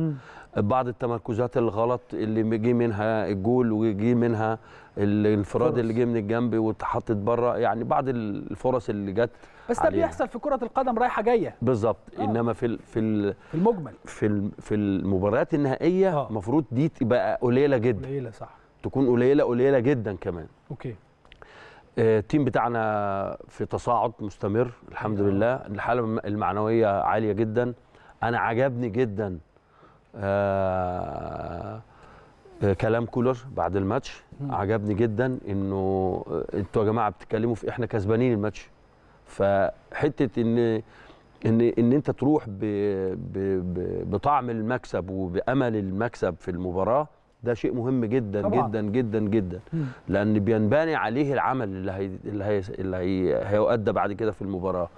آه، النادي الأهلي عنده squad كويس جدا يقدر يشتغل ويتحرك فيه زي ما هو متع- زي ما إحنا متعودين الفترات ال- الفترة الأخيرة الطويلة فما فيش مشكلة إن مين يشتغل ومين ما يشتغلش أعتقد إن الراجل في الماتش دوت ممكن تلاقي بعض التغييرات يوم 11. الجذرية اللي هو يوم 11 okay إنك تلاقي بعض التغيرات الجذرية نتيجة الاست- اختلاف أو اختلاف الاستراتيجية اللي ممكن يشتغل بيها آه. في الماتش. يعني ده, ده, ده توقعي. آه شايف إن هو من الممكن جدا إن هو يبدل الاستراتيجية بتاعته؟ آه أعتقد في الماتش اللي اعتقد جاي. آه إيه، في بعض الوحدات اللي اللي المفروض مش هقول أسامي بس في بعض الوحدات اللي المفروض إنها مش ماتشها مش بدايتها مم. في الماتش. يعني ممكن تبقى موجودة للاستعانة بيها على حسب نتيجة. المباراة. فاكر مانويل جوزيف مرة من المرات عمل كده في, في في الصفاقس. عمل بالظبط. بالظبط. عمل كده. بالظبط. في في حاجات كده لازم تت يعني ال ال ال المشوار بتاع الماتش والسيناريو بتاع الماتش لازم يبقى. مختلف. بالظبط. آه. طيب قبل ما نروح لتقسيم المباراة يا كابتن يعني أنا ما أعرفش وجهة نظري الشخصية إن إحنا عملنا مباراة يوم 4 يونيو. واحدة من أفضل المباريات اللي لعبها النادي الأهلي في في الفترة الأخيرة. دي حقيقة. لك لا لا دي حقيقة. لكن في الفترة الأخيرة سواء. الشوط الأول أو الثاني دي حقيقة دي حقيقة دي حقيقة. آه عندنا بعض الأمور السلبيه ولكن في النهاية بشكل عام لا أنت عملت مباراة وأنت قاعد بتتفرج عليها أنت بتستمتع بالنادي الأهلي. وجهة نظري. هو اللي حصل إن باين باين على النادي الأهلي من أول دقيقة الإصرار على المكسب. okay. ده كان باين جدا. جدا. ده كان باين جدا. وظهر أكتر في الاختراقات اللي جت. أنا كنت سامع لبعض المحللين أو بعض الناس اللي اتكلمت في على الماتش وقالوا إن فرقة الوداد هم اللي سايبين الاستحواذ للنادي الأهلي. آه ما سايبين الاستحواذ للنادي الأهلي إنما ما قدروش يمنعوهم من الوصول للجول زي ما حصلت مع صن داونز مثلا صحيح. في فترة من فترات طويلة. لا النادي الأهلي وصل وصل كتير. آه أكتر من إن إحنا نكون في مباراة نهائية بالظبط. آه. يعني أنت لما بتيجي تلعب match final وهم بيلعبوا parking آه، في قدام ال 18 بتاعهم ب 10 لعيبة. وبتعمل الاختراقات ديت. لا يبقى يبقى انت قادر ان انت تعمل الاختراقات دي كمان في في عدم وجود هذه المساحات المغلقة. مم. يعني انت لما تبدأ ال- القصة بالمساحات المقفولة دي وتقدر تخترقها يبقى اذا مع وجود بعض المساحات اللي هتبقى موجودة في الماتش ال- العودة يوم 11 إن شاء الله هيبقى هتقدر كمان إن أنت ومن هنا الاستراتيجية اللي أنا بتكلم فيها. لازم ال killing hope بتاعهم ده خالص لازم اقتل له الأمل. يعني مفيش حاجة اسمها إيه؟ هسيب له الكورة و... و... والاست... هسيب له استحواذ. لسه كنت هتكلم مع حضرتك إن في اتنين استراتيجية. اللي حضرتك بتقول أسيب له الكورة وأستنى أو أعمل اللي أنا بعمله. كل لا أنا. هعمل اللي أنا بعمله عشان عايز اقتل له الأمل. ما هغير ليه؟ طالما هعمل اللي أنا بعمله. ما علشان إيه؟ أنا هغير ليه؟ علشان النواحي الدفاعيه بتاعتي تبقى أقوى شوية. okay. علشان وأنا أما أخسر الكورة في حالة فقدان الكورة يبقى عندي stability أو بقى عندي قوة في ال... في خاصة في الأطراف. تمام. فده مهم جدا جدا جدا. لأن هو هو بيعتمد على شغل الأطراف والكور الثابتة بشكل كولر. بش... لا. أنا بتكلم عن الوداد تقصد الوداد. آه okay. بيعتمد على الكور الثابتة وال... ال- وال long passes للراجل يعني الطويل ده معروف. آه آه. فإذا في في صح. وحدات لازم تبقى متواجدة في في الماتش دوت. في وحدات هجومية بتبقى فعال فعاليتها الهجومية أكتر من من الدفاعية. آه، ما- مش وقتها. آه مش وقتها. ده ماتش 90 دقيقة. مش مش ضروري يكون الماتش ده بتاعها. مش آه. مهم يعني مش بالضرورة خالص يكون طبعا. يكون في البداية حتى وفريق. النادي الأهلي. بالظبط كده. آه، إنما السكواد موجود فيه كل اللي أنت عاوز تعمله. يعني اللي أنت عاوز تشتغل بيه الطريقة اللي أنت عاوز تشتغل بيها أو الاستراتيجية اللي أنت عايز عايز تشتغل بيها موجود اللعيبه اللي تناسب آه، القصة دي كلها. آه. ما فبالتالي. آه، حضرتك مع إن هو يغير من بعض المراكز جوه الملعب أو من بعض. أسماء اللاعبين جوه الملعب ولكن نعم. بنفس طريقة لعبه. أيوه. عايزه يحافظ على الكيلينج هوب ده. ده اللي حضرتك آه مش أنت مش هديله الأمل. مش هديك الامل. ما أصل خلي بالك إيه وانس إن أنا أديك إحنا إحنا خدنا الكورة أهو زي ما هم بيقولوا سايبين لنا الكورة بس آه، نتيجة إن هم سايبين لنا الكورة إحنا الأمل موجود طول ما الكورة معاك طول ما الأمل موجود. لا الأمل موجود وبعدين كانك بتدافع كويس كمان. أنت فاهم؟ الكوره ما بتروحش عليك. بالظبط. إيه ده من أهم طرق الدفاع الاستحواذ. صحيح. من أهم طرق الاستحواذ الدفاع. الدفاع هي الاستحواذ لأن طول ما أنت مستحوذ على الكورة خلاص. مفيش عليك خطورة. صحيح. فإذا وفي نفس الوقت بتقتل له الأمل ده دقيقة ورا دقيقة خمس دقائق ورا خمس دقائق وبتزيد الضغوط عليه من الجمهور اللي موجود عنده ده مم. وبتشيل من عنك أنت كل يعني حت- حتة ال ال ال الاستحواذ بتاعك أو عدم الاندفاع الهجومي آه. مش بالضرورة خالص الاستحواذ بتاعي يبقى وراه اندفاع هجومي أو إن أنا لازم أجيب جول في أول آه يعني حضرتك آه عشان كده أنا فهمت. كده على فكرة فهمت حضرتك تقول بت... كابتن مجدي بيقول إنه لازم أضغط عليهم من قدام. هاي بريس مش م- ده في حالة وجود الكرة بتاعته الكره معاه. مع أنا الوداد. بك- أنا آه أنا بتكلم على والكوره معايا أنا أنا مش عايز أسيب له الكوره لفترات طويلة يعمل اللي هو عاوزه. آه يعني مش عايز زي ما حصل إحنا الشوط الأولاني نسبة الاستحواذ بتاعت الأهلي 73 آه، 26 ولا 27 بالظبط. فأنت مش عايز دي تحصل. مش عايز دي تحصل. okay. مش عايزها تحصل خالص. مش عايزها تبقى بال opposite مش هو اللي يبقى ماسك الكورة السا- 73 وأنا اللي عامل parking لا مش عاوز تشتغل على counter attack أيوة، لا ده أنا لأن- عاوز أنا النسبة بتاعت أنا عاوز من ال... ال- النسبة لو هي 50 50 هيبقى كويس جدا. okay. ليه؟ لأن أنا عاوز الفترة ع- مش بالضرورة أعمل اندفاع هجومي. أقلل ال- أقلل الكور الخطر عليا. عليا. صحيح. لأن طول ما أنا ماسك الكورة عندي اولا بستهلك الوقت بشكل إيجابي. آه في ثقة كبيرة جدا بتزداد. في زيادة ضغوط عند الفرقة اللي قدامي في اقتصاد للطاقة بالنسبة أنا للوقت بتاعي إن أنا ممكن أشتغل لأطول وقت ممكن لأني بجريه ورا الكورة. في نفس الوقت بخليه هو يفقد طاقة أكتر مع زيادة الضغوط فيبقى ال ال ال ال ال العصبية عنده أو نسبة إهدار الطاقة عنده تبقى أكتر وأكتر كمان. في لها لها فوائد كبيرة جدا إن أنا أعمل الاستحواذ بتاعي بدون استعجال في الاندفاع الهجومي مش مش عدم الاندفاع الهجومي لا. آه. بدون استعجال في الاندفاع الهجومي. أم، كيفية الاستعداد بقى لهذه المباراة يا كابتن خلال هذه الأيام؟ يعني أنا بشوف إن أو الناس رايحة للناحية النفسية أكتر من طبعاً. آه. لأن خ... بص الماتشات اللي زي دي انت لعبت كورة وأنا لعبت كورة ون... ال... ال... ال- ال matchات اللي زي كده لعيب الكورة مش محتاج أي حد يديله أي حقنة آه، حوافز. تحفيز. آه. ولا دوافع ولا أي حاجة. ده هو بيقعد طول الأسبوع من من بعد الماتش لغاية الماتش الثاني هو ما بيفكرش غير في الماتش. يعني حتى لو عنده ماتش في الوسط في الدوري ولا هنا ولا هنا بتبقى نسبة آه، تركيزه فيه قليلة شوية. لأن ده final أقل من المعتاد صحيح. إحنا بنتكلم بنتكلم في فاينل وفي بطولة كبيرة. صحيح. ما هياش إحنا بنتكلم في أقوى بطولة في أفريقيا. مم. وعايزين السنة اللي فاتت راحت مننا بفعل فاعل فاحنا عايزين نجيبها من هذا الفاعل. صحيح. لأن الفعل الفاعل آه، وحظنا إن إحنا بنلعبه. بنواجهه تاني فاحنا عايزين نجيب من هذا الفاعل هذه البطولة مم. عشان عشان يبقى كمان الناس عارفة إن إحنا كان عندنا حق لما كنا بنتكلم. okay. إن إحنا بس أنا بشوف ملهاش علاقة يا كابتن لأنه أنت في الآخر أنت عملت مباراة جيدة جدا. أنا وجهة نظري إن إحنا عملنا مباراة جيدة جدا في مباراة ال- الذهاب.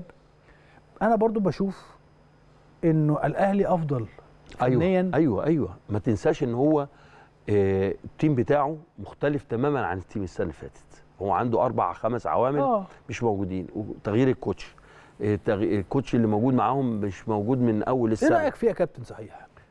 المدرب بتاع بدر. والله هو هو عنده هدوء وعنده ثبات آه، شديد جدا. النتائج الأخرانية بتاعته ب... وتعديل ال- طريقه اللعب. تعديل طريقة اللعب صحيح. وشكل اللعب بيقول إنه راجل آه، عنده آه، قناعات وبيطبقها على الأرض.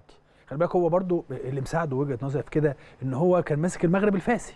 آه. فكان عارف الوداد بالظبط. عارف عارف الفرق الكبيرة طبعا أيوة إنه بيلعب بالظبط وع- وعارف ال- البطولة. وعارف البطولة صح. وعارف صح. البطولة. ده مهم جدا ان آه. تبقى عارف البطولة وعارف إن المنافس.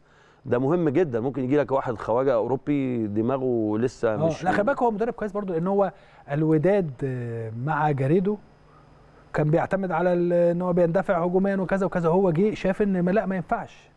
فوقف الباركنج اللي حضرتك بتتكلم أيوة عنه ده. ولعب ثلاث مباريات أو أربع مباريات منهم اثنين ضد سان داونز أيوة. وواحدة ضد النادي الأهلي.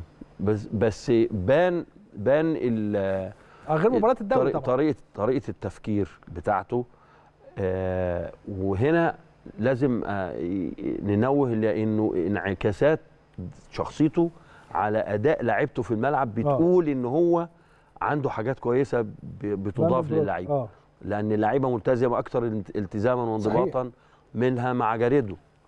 آه، أكتر آه، تركيز أكتر آه، تنفيذ. أكتر تنفيذ للتكتيك اللي المدرب عايزه. بالظبط. آه. فهنا الدنيا بتقول لك إنه الراجل لأ كوتش كوتش عنده عنده قدرات آه. وممكن يعمل حاجات مع ال- بس إحنا لسه ما شفناهوش أو ما شفناش قدراته كمدرب. في ماتش زي ده؟ لأ في ماتش هيت- هيعمل فيه العكس خلي بالك. يعني ما ده اللي هو بنقوله زي ماتش هو زي ده. الثلاث ماتشات اللي فاتوا سواء آه السان داونز ولا الأهلي. هنا آه، في المغرب وبره. أو الأهلي لعبهم بنفس الطريقة. أيوه. اللي هو واقف بيعتمد على الهجمة المرتدة على سامبو. ما ما تستغربش وما تستعجبش آه. لو بدأ كده. مم، ممكن. آه ما تستغ... ما تستغربش. وما تستعجبش إن هو لو ب...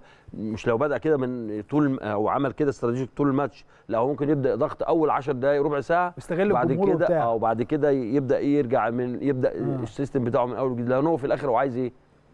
هو عاوز جول. آه. هو عاوز جول. ما يدخلش فيه جول. وعايز جول.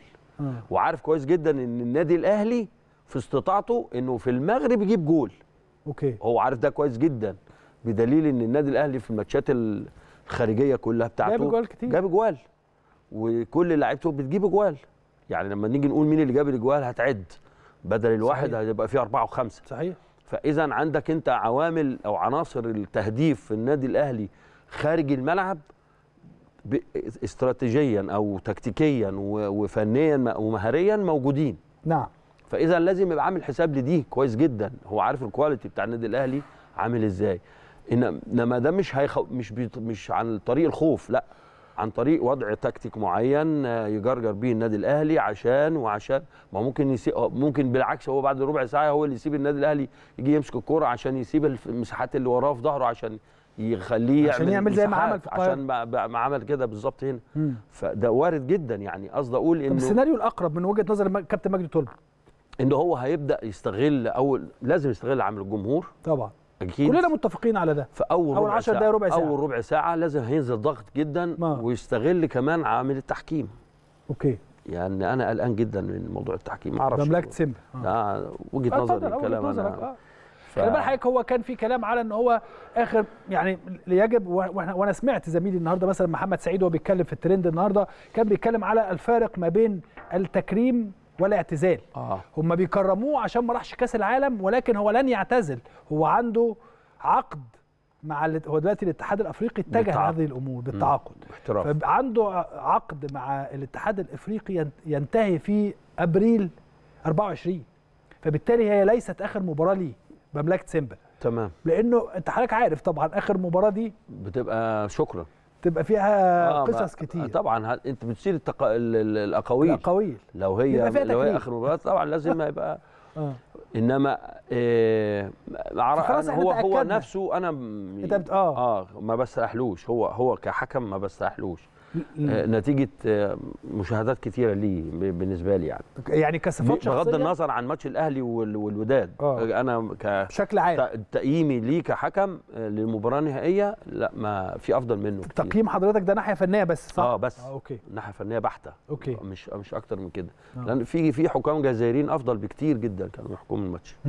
يعني كان آه، الحكام الجزائريين كمان كانوا هيبقوا أكتر آه، بس ب- ب- بعد اللي إحنا شفناه مع آه، الحكم الليبي في المباراة الأخيرة يعني أنا بشوف إن إحنا كان لينا على الأقل ركلة جزاء كان يجب أن بتاعت. بتاعت حسين شحات أنا شايفها ركلة جزاء. حضرتك شايفها إيه؟ بس آه، أنا شايفها بسنس لعيب الكورة ضربة جزاء. ضربة جزاء. بر- بر- على فكرة. بس خلي بالك الحكم ملوش دعوة بسنس لعيب الكورة. لا ملوش دعوة. آه. أنا أنا آسف جدا إن أنا هقول الكلمتين دول لا بس اتفضل.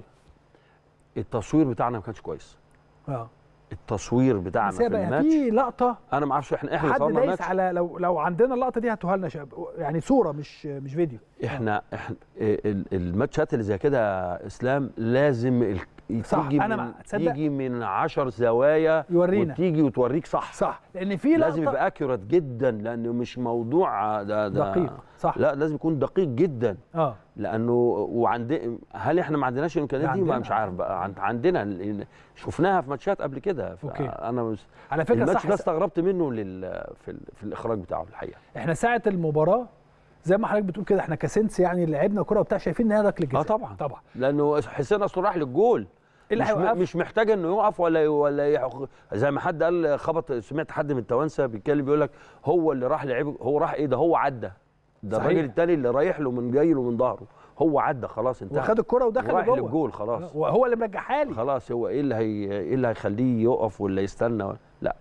هي كانت أنا وجهة نظري الشخصيه إنها كانت بينالتي آه فعشان كده أنا بقول لحضرتك يمكن كان عليه بعض عليه بعض الاعتراضات يعني الحكم ال- الليبي ولكن في النهاية مباراة وعدت أنا مش عايز أتكلم برضه في التحكيم كتير لأنه في النهاية أنت فريق قوي واقف على رجلك كنادي أهلي يعني عندك كل التولز أو الأدوات اللي تخليك تقدر تكسب طبعا طبعا وتشتغل. طبعا طبعا طبعا. وال- والحديث عن التحكيم طبعا التحكيم هو ركن مهم وكل حاجة ولكن لن يقدم ويؤخر عن شيء. هو الكابتن مجدي هنا بيتكلم عن إن هو نفسيا يعني أنا- ما في كده على فكرة. حصل. معظم جماهير الأهلي خلي بالك كده. خلي بالك أنا مش بتكلم على على تهيؤات. لا لا طبعا. آه، كلنا بس يعني نسينا آه. خسرنا مع الترجي إزاي؟ في في final من يعني ال final في بإيده. آه يعني إنرامو. أيوه إنرامو. فقصدي أقول في سوابق تخلي الواحد يبقى قلقان أو بلاش نقول قلقان متحوط لحاجة زي كده يعني. ونتمنى إن إحنا نشوف العدالة أتمنى طبعا أتمنى في, طبعا. في التحكيم لأن أنت أتمنى. العالم كله بيتفرج على أتمنى يعني اتحاد كرة ال- الاتحاد الإفريقي أعلن إن تقريبا 80 دولة هتتفرج على هتتفرج على هذه. المباراة طبعا. الفاينل طبعا وبالتالي طب أنت يعني طبعا طبعا, طبعا. عندك حاجة يعني تخلي اسم العالم النادي الأهلي كبير جدا في القارة طبعا واسم المغرب في في البطولة. كأس العالم ال- الأخرانية كمان بالذات. صحيح. مديها رونق. رونق كبير كده وزخم عندهم زخم شديد. فطبعا أكيد الناس كلها هتبقى عايزة تتفرج على ماتش زي ده. بالظبط. ف... فاللوحة الحلوة دي وجمهور المغرب طبعا هيعمل لوحة حلوة. طبعا. فبالتالي اللوحة الحلوة دي عايزين نكملها بقى مع أكيد، عداله تحكيميه أكيد، لو أكيد. الأهلي عليه ركلة جزاء احسب يا سيدي. أكيد. لكن لو لينا؟ لازم ناخدها. المفروض. يعني ده اللي إحنا طبيعي. بننتظره. طيب. آه آه آه فين وريها لي يا سمير؟ آه أهي. يعني بص دي يا كابتن. طبعا هي مش واضحة. ما ده اللي يعني بقوله آه. دي كمان مش باينة. يعني لا في لقطة يا جماعة لأنه دول دي كمان مش باينة. يعني برضه دي مش باينة. آه. اللون بتاع ال- اللي الجزء ب- بتاع اللي, ال- اللي بانت سنة اللي هي من ورا الجول. آه. في في زاوية جاية من كاميرا جاية من ورا الجول بس كانت بعيدة لنا قوي. يعني كصورة طبعا مش آه، فيديو. آه. فاعتقد إنه لا التصوير ما حالفناش التوفيق فيه آه. في لكن هي كلاعب كرة لا بلاد لعيب كوره أنا بقول لك دي بينالتي لأنه خلاص صحيح هو رايح هو يعني هو ما كده. عندوش ما عندوش أي مصلحة في إنه يعمل simulation أو أي حاجة لأنه رايح ل... مم. اولا حسين هداف بي يعني لما لو بيحب لما الصغيرة دي. لما بينفرد لا بتكلم على أصل خلاص هو عدى. عدى وانفرد. آه. يعني هو كان رايح للانفراد للجول. وحسين لما بينفرد بالجول آه، بنسبة تهديفه بتبقى عالية جدا يعني. مم. وده اللي شفناه. فاذا ما عندوش أي ما عندوش أي نوع من أنواع ال- التمويه أو ال- ال- التمثيل علشان ياخد ضربة جزاء. okay. لأنه عدى ورايح للجول وسهل إنه كان يجيب جول صحيح. إيه وهو كان عامل ماتش؟ كويس جدا فايق جدا حسين. في الماتش. آه حسين كان فايق جدا ما شاء الله في الماتش. صحيح هو الفترة الأخيرة بسم الله آه ما ف شاء الله. ف طيب هنكمل كلامنا مع كابتن مجدي ولكن المواجهة تتجدد ما بين آه، كولر وفاندر بروك خلينا نطلع نشوف هذا التقرير ونرجع نكمل. كابتن مجدي أعتقد إنها هتبقى مواجهة حلوة ما بين سويسري آه، مارسيل كولر المدير الفني للنادي الأهلي وفاندر بروك المدير الفني لنادي الوداد. يعني حتى تكتيكيا الاثنين ده عنده بيعمل تكتيك وده بيعمل تكتيك. عندهم حلول حلولهم جاهزة سيناريوهاتهم جاهزة. آه ما فيش مدرب خواجة خاصة في الحتتين دول سويسرا وبلجيكا وهولندا ألمانيا. آه في العموم الأوروبي عموما يعني والحتت دي خاصة الا لما بيكون عامل سيناريو سيناريو للمباراة وسيناريوهات بديلة. لأن بيبقوا وعن طريق الخبرات كمان بس كولر أكتر خبرة. في في المباريات والمباريات. الكبيرة مم. آه نتيجة طبعا خبراته وسابق تجاربه ال- الكبيرة مع المنتخبات ومع الأندية الألمانية والسويسرية. آه كولر عمل عمل حاجة مهمة جدا آه، في النادي الأهلي من ساعة ما جه ألا وهي إنه رجع شخصية النادي الأهلي ال ال ال القيادية دايما في المباريات بحيث إنه الفترة الأخرانية قبل كولر كان النادي الأهلي آه، زي ما كنا بنتكلم دلوقتي دايما سايب الاستحواذ وسايب وسايب وسايب وسايب مع إن آه، آه، مش دي شخصيتنا مش دي مش هي دي شخصية النادي الأهلي ابدا. okay. وعنده ال- ال- ال- ال squad اللي يقدر يشتغل بيه زي ما لسه بقول لك أهو في أي وقت النادي الأهلي أي 11 أو أي آه، 18 يبقوا موجودين عايز. عايز عايزهم يعملوا إيه هيعملوه. دفاعيا أو هجوميا عايز عايزهم يعملوا إيه؟ هيعملوه ما عن... فيش مشكلة خالص. هو كان الموضوع كله بس شوية وقت. اللي هو حصل ال- ال drop اللي حصل في الأول ده دي كانت مرحلة انتقالية ما بين فكر وفكر. okay. مختلف. اللي حصل فيها بقى الدروبات اللي حصلت في الأول أول فترة كولر دي. إنما أنا بعد تقريبا ثلاث أسابيع أو أربع أسابيع كنت شايف إن كولر هيعمل وكنت متوقع إن في بعض اللعيبة اللي هم مستمرين أو بياخدوا واخدين بياخدوا فترات طويلة. الفترة اللي فاتت هيقعدوا لأن لأن كنت شايف ال- الأسلوب بتاع شغله في الضغط والضغط ال- السريع وسرعة الاستخلاص حضرتك معجب من. بدري يعني من, بدري المرة أوي. اللي فاتت آه من بدري قوي نعم. من بدري قوي آه. فدي رجع في النادي الأهلي. شوف انت النهارده النادي الأهلي بياخد الكورة بيعمل ال- الاستحواذ بتاعه بيعمل إعادة الاستحواذ بتاعته بعد ما بيفقد الكوره بقد إيه. مفيش ثواني قليلة جدا وبيرجع ياخد الكوره تاني فده مهم جدا مم. وده ليه بعض ال... ال... يعني في بعض اللعيبة ما يقدروش يشتغلوه في بعض اللعيبة عشان كده حضرتك توقعت ساعتها أنا فاكر بالظبط. الحلقة دي برضو توقعت ساعتها. كانت لسه في بدايات كولر بالظبط كده آه. ف وحصل ال... ال... ال... ال...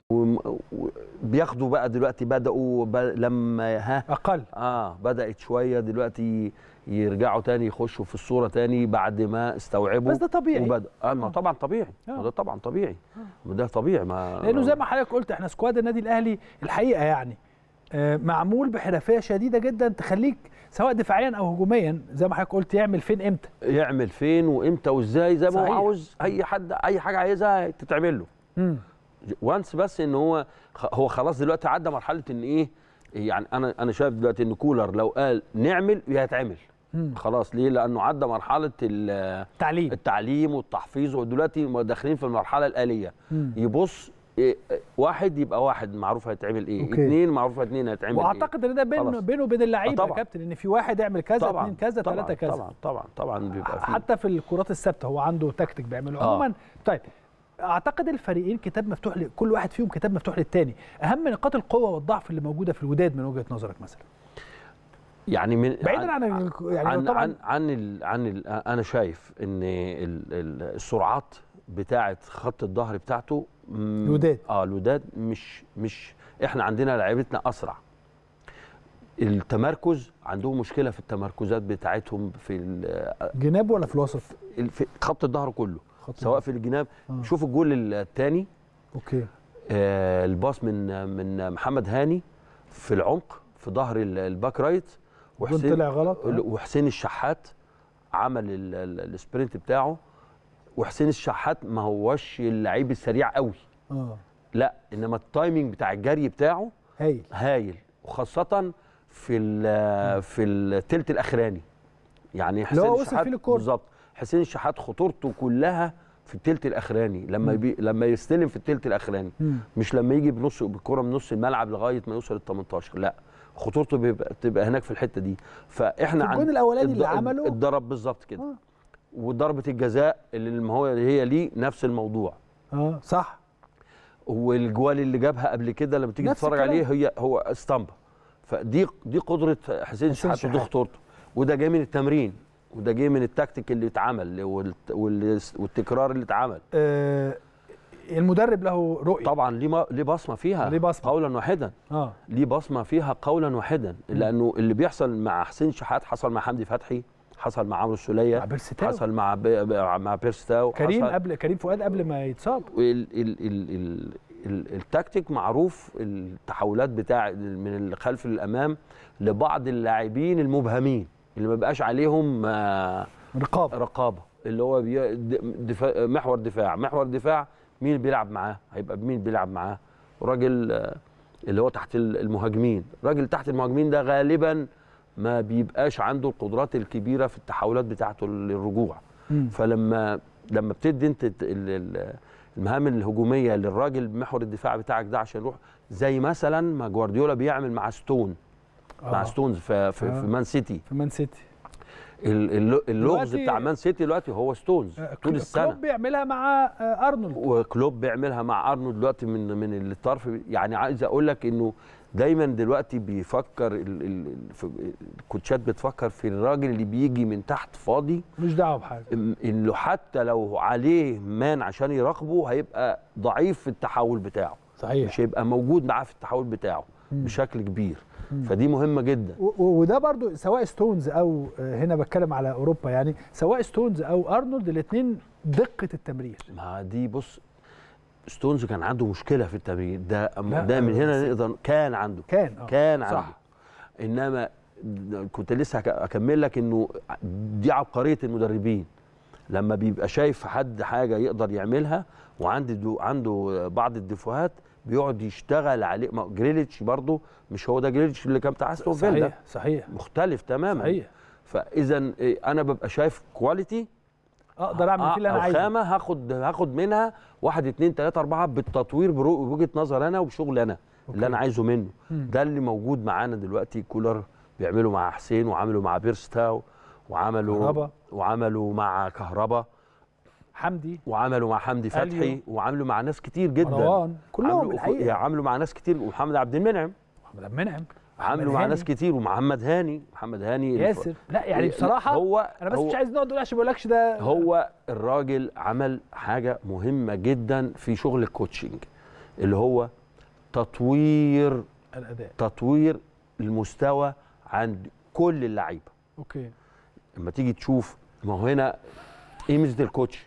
مش تكتيك وخلاص ومكسب وخلاص لا إنه يطور من أداء اللعيب بتاعي اللي بيه يزيد ال value بتاع ال team فهمت. يعني أنا النهارده لما أكون حسين شحات آه، ثمنه آه، سين بعد التطوير بتاع السنة ديت والمستوى اللي بيأديه هيبقى سين زائد. فهمت. سين plus مم. أو أو في أو أو قول أي حد بقى قيس على كده يعني، اي اسم آه. تاني. لأن الحقيقة كل الأسماء تم تطويرها. بالظبط. بالظبط. ده عكس الفترة اللي فاتت. كان في نتائج كويسة جدا بس مفيش تطوير في الأداء. شكل الأداء واحد. مفيش مفيش. شخصية الأهلي. ما- يعني اللعيب ده مفيش عنده زيادة مفيش تطور مفيش طفرة. مفيش انتقال من من ألف لب أو لجيم أو لدال. هو ألف بس ألف شغال ألف زي ما هو شغال زي الألف.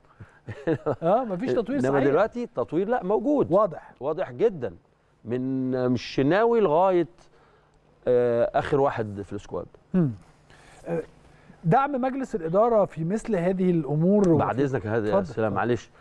وده أكبر دليل على الكلام اللي أنا بقوله ال rotation اللي بيتعمل. أي حد بينزل دلوقتي بيشتغل ما عندكش مشكلة نفس الشكل. ما عندكش مشكلة في إن أنت هتلاقي نفس الأداء موجود صحيح. ونفس آه، آه، الشغل موجود بنفس الإيجابية اللي موجودة. فده دليل على إن الجميع في تطور. وبيشتغل بفكر واحد واحد. واتجاه واحد. وأنا أنا عايز ال back اليمين مش إسلام أو مش محمد هاني. لا محمد هاني كريم فؤاد. ال back, بيلعبوا مع ال back بعض. right ال back right اتغير كام مرة السنة دي؟ أكرم بداعي كريم أيوه. هاني. و- ثم خالد عبد الفتاح. فتاح. آه. أربعة. والأربعة تقريبا اشتغلوا بأداء واحد. يعني حتى خالد آه. عبد ما الفتاح شفناش يعني يعني حتى صحيح. خالد عبد الفتاح لما جه ودخل ال team على طول بعد ما دخل أول ماتشين أول ثلاث ماتشات ما حسيتش إن الدنيا لا بعيدة مفيش خالص فرق مروان عطية. مروان عطية. صحيح. عايز أقول لك إن ده أكبر دليل على التطوير اللي موجود آه من من من ال- الكوتش. ال ال ال ال دعم مجلس الإدارة في مثل هذه الأوقات أعتقد بيبقى له الدور الأكبر والأهم. أكيد. آه. أكيد إن أنت تبقى رايح مطمن ظهرك الناس كلها. مسافرة والناس كلها موجودة. دي طبيعة اولا دي طبيعة النادي الأهلي من ساعة من قبل ما ادخل النادي الأهلي ودي موجودة. ومن. بعد ما دخلت دي موجودة. فدي بيور- بي- بيتوارثوها جا- كابرا عن كابر زي ما بيقولوا. صحيح. فده واللي هي دي عامل من عوامل النجاح. إيه أهم حاجة في النادي الأهلي حاجة مهمة جدا في النادي الأهلي إن عناصر النجاح أو أسباب النجاح اللي بتبقى موجودة بيحصل عليها إيه يعني ضغط. ضغط. بتتثبت تتنها متثبتة وتتطور بقى إيه أيوة. كل حسب طريقة تفكيره يعني إذا كان عندك أخطاء في الموسم السابق في المباراة النهائية فأنت السنة دي بتحاول أن تتحاشاها آه طبعا هو ده الفرق ما بين وجهة نظري ده الفرق ما بين الأهلي هو أنت ما أنت تلاشيتها خالص يعني أوكي. السنة اللي فاتت كان في حوار قبل المباراة. شكله رايح آه. جاي ورايح.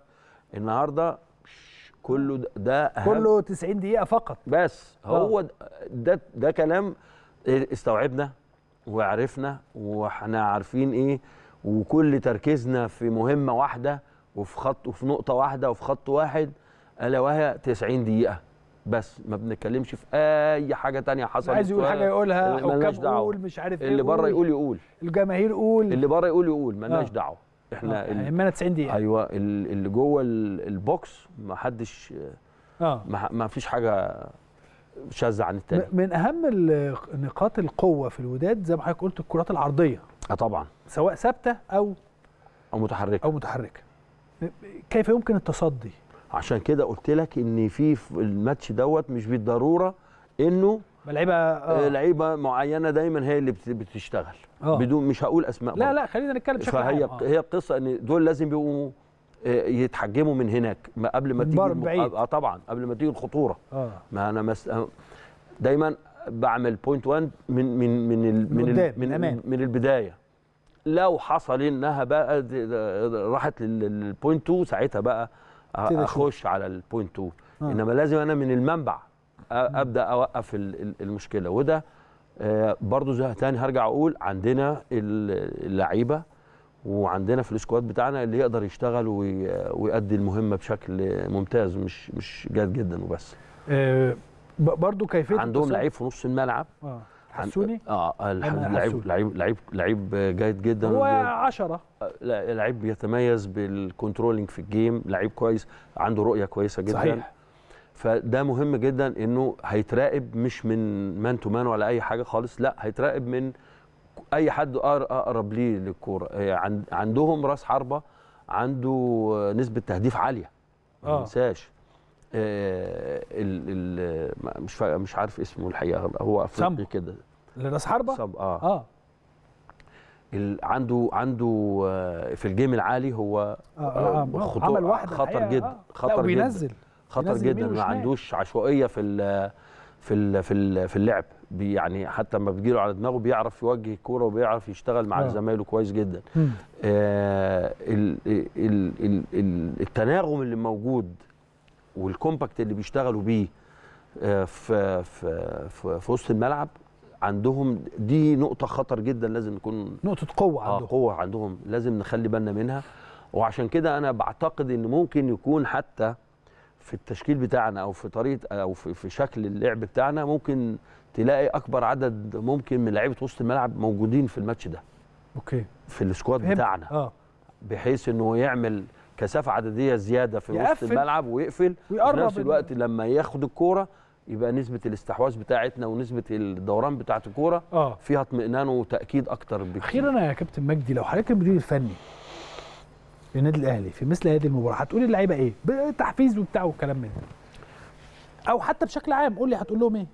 تحفيز أنا هقول لهم إن إحنا دلوقتي في آه، بقينا آه، آه، أو إحنا إحنا إحنا ده خلاص نزلنا المحيط فطالما نزلنا المحيط يا نبقى قروش يا نبقى بسري أوكي فالنادي الأهلي عمره ما يبقى بسري صحيح فلازم نثبت للعالم كله إن إحنا قروش. وحوش قروش لازم. وده أنا ما عنديش فيه أدنى شك. من روح اللعيبة اللي موجودة وقدرات اللعيبة اللي موجودة. ال- ال- الشيء الثاني الشق الثاني الفني اشتغلوا كل اللي إحنا بنعمله بقالنا دلوقتي ثلاث شهور. ما تعملوش حاجة تانية زيادة. مم. خالص. مش عايزك تعمل أي حاجة تانية زيادة عن ثلاث شهور. ما تفكرش تعمل حاجة زيادة عن ثلاث شهور. أوكي. علشان في آخر ال- ال- الشغل بتاعك تبقى مستمتع جدا وراضي عن نفسك تماما والنتيجة بتيجي دايما أو غالبا بتيجي مع المركز وروحه عالية جدا وبيبقى قاري كويس جدا ال- ال- المنافس بتاعه بيعمل إيه وهو عاوز إيه. نعم. وما تنساش إحنا السنة اللي فاتت من الملعب ده روحنا زعلانين صحيح عايزين السنة دي لا نروح مبسوطين حضرتك مطمن آه مم. أنا الحمد لله مطمن جدا مم. لأن أنا النتيجه بالنسبة لي كنت بقول لما قبل المباراه كنت بتوقع 1-0 آه فرق واحد آه، نتيجه زي ما بيقولوا آه، آه، آه، آه، أقل نتيجه ايجابيه عشان الجول ال- اللي لا قدر الله حصل فينا. إنما أنا في نفس الوقت عندي عندي عندي إيمان شديد إن إحنا إن شاء الله هنجيب جول هناك. لأن لأن عندي ثقة في إن إحنا نعرف نجيب جول هناك. نعرف نجيب آه جول طبعا. نعرف نجيب جول لو جبنا جول هناك ربنا يكرمنا إن شاء إن الله شاء الله. وتمشي على خير. أنا إن بشكرك الله. جدا يا كابتن مجدي الحقيقة دايما بستمتع بوجود حضرتك معانا. ربنا يخليك. وبنستمتع بالكلام الفني اللي حضرتك بتقوله يعني. ربنا يخليك. شكرا بشكرك. شكرا جزيلا. شكرا ليك. شكرا جزيلا للنجم الكبير كابتن مجدي طلبة. هطلع فاصل وبعد هذا الفاصل الأستاذ عصام شلتوت والأستاذ محمود صبري في ضيافة البيت الكبير.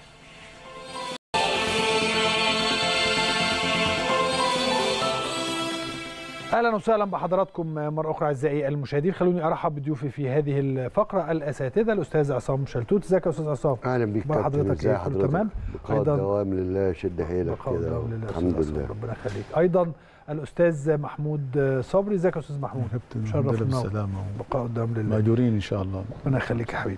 أستاذ عصام أستاذ محمود هبدا مع حضراتكم مباشرة لأنه موضوع مهم جدا. الحقيقة النهارده أثير عن الاتحاد الدولي للاعبين المحترفين بيحذر من خلاله بعدم الانضمام لفرق الدوري المصري بسبب الأزمات التي تعاني تعاني منها اللاعبين مع أنديتهم فيما يتعلق بالمستحقات من المتسبب في هذا الرأي والإحراج الكبير اللي إحنا فيه. بعيدا عن النادي الأهلي اللي هو الحمد لله والشكر لله الحمد لله والشكر لله وإحنا مش بنقول كده عشان جوه النادي الأهلي ما أعرفش برضو رأي حضراتكم إيه ولكن عايز لو تفكروني بمشكلة حصلت للعيب أو لمدرب لا لكن. حصل آه، إن النادي الأهلي على مدار اليوم يعني أغلب الزملاء حاولوا انه النادي الأهلي يقول بيان وكأن الحكاية أندية بعينها فالنادي الأهلي أكد ما هو مؤكد ألا وهو ليس لدي أساسا أي تبادل لا للشكاوى بالظبط ولا حضرنا جلسات استماع إحنا ولا. غرف مغلقة وبالتالي لا مكان لأن يخرج النادي الأهلي متحدثا عن أيا ما يسيء العلاقة بينه وبين نجوم محترفين لا مصريين ولا أجانب. صح. لأن ده كله شيء بيكون موثق بل على العكس توجد شكوى من النادي الأهلي آه، ضد اللاعب عبد الله السعيد واتبع فيها النادي الأهلي الإجراءات القانونية بل على العكس لغياب ما نقل من أوراق عبر اتحاد الكرة المصري كانت الغرفة بتاعت المشوره بتشعر إن ورق الأهلي منقوص لكن الأزمة إن الأهلي هو المطالب يعني مش الأهلي مطلوب منه. وبالتالي النهارده عاش اسم الكرة المصرية لأن مصر أكبر الحقيقة من سكان خمسة شارع الجبليه ده شيء بقى انتهينا منه.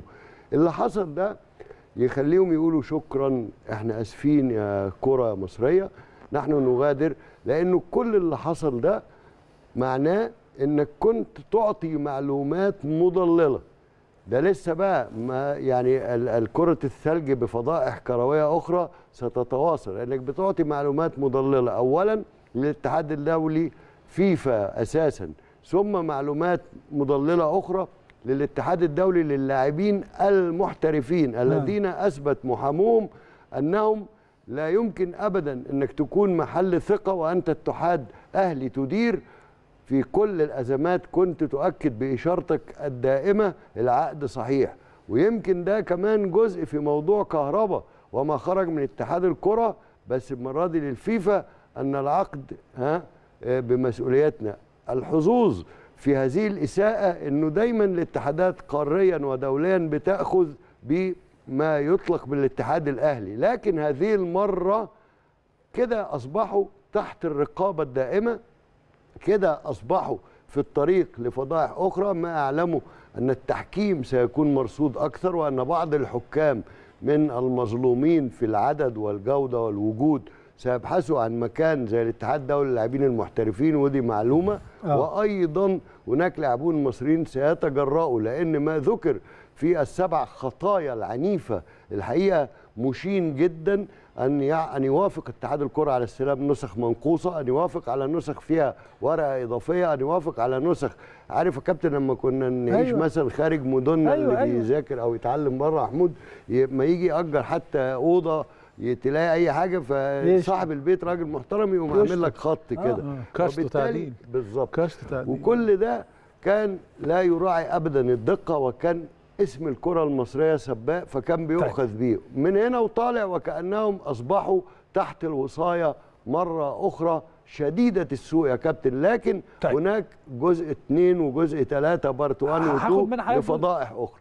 طيب وهاخد بس رأي الأستاذ محمود ولكن خليني أقول بيان إعلامي خرج من الاتحاد المصري لكرة القدم منذ 12 دقيقة. يا سلام. دلوقتي يبدي الاتحاد المصري لكرة القدم أنا آسف هقوله كاملا معلش هو طويل بس هقوله كاملا. بالعكس. يبدي الاتحاد المصري لكرة القدم انزعاجه الشديد من البيان المفاجئ الصادر عن الاتحاد الدولي للاعبين المحترفين. ويؤكد أن البيان يحتوي على الكثير من المعلومات غير الصحيحة والتي ثبت وقوعها فهي حالات فردية لا تنسحب على جميع أندية مصر. يقصد التي إن ثبت وقع أكمل.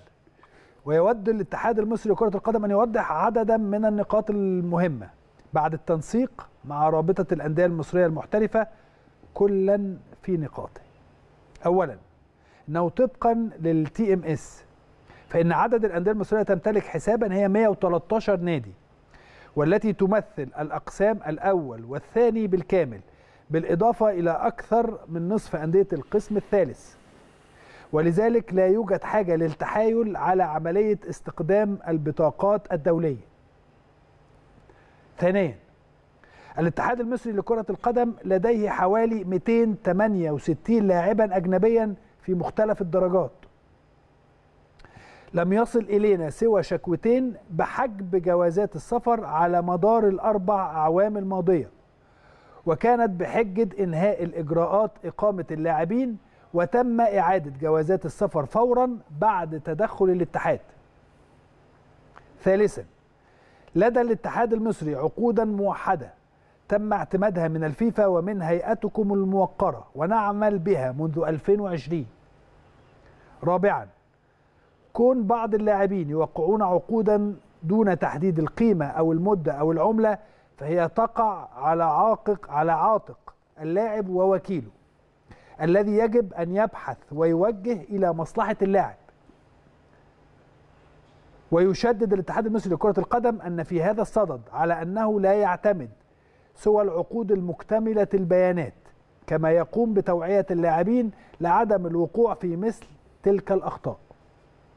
خامسا وأخيرا أن الاتحاد المصري لديه جميع إجراءات التقاضي التي التي تمنح كل طرف حقه طبقا للائحة الاتحاد والمعتمدة من الفيفا في 2022 أخيرا فإن الاتحاد المصري يرفض بشدة ويحتج بقوة على البيان الصادر من هيئتكم بتاريخ اليوم خاصة أن جمعية اللاعبين المصريين وهي المتواجدة والمتابعة للأحداث في مصر لم توجه للاتحاد أي ملاحظة فيما جاء في بيانكم.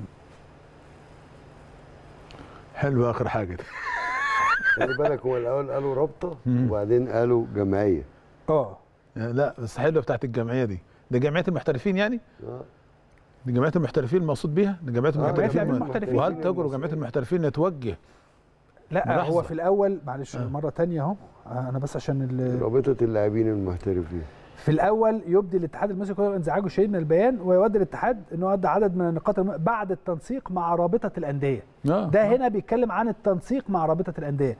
ولكن آخر سطر قال فيه جماعية. أن جمعية اللاعبين المصريين وهي المتواجدة والمتابعة للأحداث في مصر لم توجه أي اللي هي ملاحظه جمعية اللاعبين المحترفين. آه. اللي هي اللي هي كابتن مجدي. كابتن مجدي عبد كابتن مجدي الغني. عبد الغني رئيسها صح؟ مم، طبعا. صح كده؟ آه. كابتن مجدي رئيسها؟ آه. لم توجه أي ملاحظات للاتحاد المصري طوال الفترة الأربع أعوام السابقه حلو جميل الكلام ده. اتحاد الكورة ده بيان إعلامي. طبعا. لا ما أنا بقول لحضرتك. إحنا آه. كنا فعلا منتظرين يبقى في بيان مشترك ما بين اتحاد الكورة والرابطه الأندية. عشان ترد على يعني عاوز أقول ال يعني البيان برضو الصادم من آه لجنة المحترفين. أو رابطه المحترفين في بالنسبة للاعبين. بأمانة شديدة طبعا الرؤية واضحة ومش محتاجة تعليق يا كابتن. يعني أعتقد آه، اتحاد الكرة سعى في بيانه الجزئية مهمة جدا. هو ركز على على موقع اللاعبين اللي هو تبادل الانتقال. ان إن هو ركز قال لك ده عنديهم ال TMS بتاعهم فيه مشكلة ما مش واضح ال- الرؤية بالنسبة له. آه يعني فدي فدي كانت بي- بيستخدم نادي. استخدم آه، شكل مختلف. هي دي النقطة اللي ركز عليها. أيوه. لكن اتحاد الكوره م- يعني في في بيانه يا كابتن إسلام ما وضحش اللي هو قال عندنا قضية أو قضيتين أو ثلاثة حتى هو ما ذكرهمش يعني صحيح. قال واحد اثنين ثلاثة طيب قال كمان إنه عنده إجراءات التقاضي يا ريت يقول لنا فين هي بس إجراءات التقاضي اللي موجودة في اتحاد الكورة عشان الناس تتقاضى وترفع عليها قضايا أو شكواها. طيب لو اتكلمنا على مجمل القضايا يا كابتن إسلام في الفترة دي مقارنة بالقضايا القديمة لبعض الأندية الموجودة في الدوري المصري ربما تكون مش طرف الاتحاد الحالي ربما صحيح. تكون طرف اتحادات إيه؟ توالت الفترة ال- السابقة تراكمت عليها ال- الأهداف والمشهد اللي إحنا شايفينه. بس هو هنا حدد يعتقد أربع آخر أربع أعوام. ما أنا بقول أنا آه. بقول لك أهو يعني مجا- مقارنة بآخر أربع أعوام باللي قبل لا اللي قبل أكتر. يعني ما إنه في آه، حاجات يمكن بتتجدد دلوقتي مع حاجات قديمة 2017 و2015 و2014 و2016 فبتظهر إيه؟ ملامحها يتقال كلام والاتحاد الدولي يعمل ياخد قرارات في المسألة دي. لكن من خلال هذا ما هي الحلول اللي اتحاد الكرة قدمها في البيان؟ يعني هيعمل إيه عشان يصحح هذا المفهوم هو رفض. لدى الرابطة؟ هو رفض هو رافض هذا الكلام. آه. ارفض زي ما أنت عايز ان هو ممكن يصدمك أكتر إن هو يروح منزل لك ها كل جمل القضايا. يعني لو ربط رابطه محترفين أكيد هتعمل كده هتفكر هتقول أدي قضاياك أهو. اضبط 50 30 40 حصل 1 2 1 2 1 2 هيعدد لك ال- الحدوتة. لكن هل انت كنت منتظر كاتحاد وكمسؤول عن اللعبة حتى يصدر بيان بهذا الشكل وهناك من حولك آه نشوف الود... ال- يعني اللي بيحصل في الدوري السعودي والتطور المذهل والرهيب والنقلة اللي هتتم خلال السنوات الجاية ب... باستخدام يعني عاوز أقول عمالقة اللعبة لو شكوا على إيه توديع المستطيل الأخضر. يعني طبعا ضخ أموال رهيبة وكبيرة جدا لأنه في خطة هدفها ربما لا يتحقق لن يتحقق مستقبلا. نعم. أنت هل أنت وضعت ما يحافظ على حقوق اللاعبين المحترفين والأجانب؟ هل أنت عندك تمتلك حتى في عدد المحترفين اللاعبين المميزين ليهم تقل إنهم بيعملوا لك تسويق للدوري بتاعك لك ما عندكش. ده كلها بتبقى حاجات يعني إيه من المتوسط من الايه الكلاس الثاني يعني أو الثالث كمان في في الصورة. فأنا عاوز أقول حاجة كده بلاش من اتحاد الكورة بلاش اتحاد الكورة إن هو يلجأ لبيان ها يعتقد إن هو ده هو ده الرد اللي شافه على أنت عملت بيان أنا هرد عليك ببيان بكلام. آه. أين الحل؟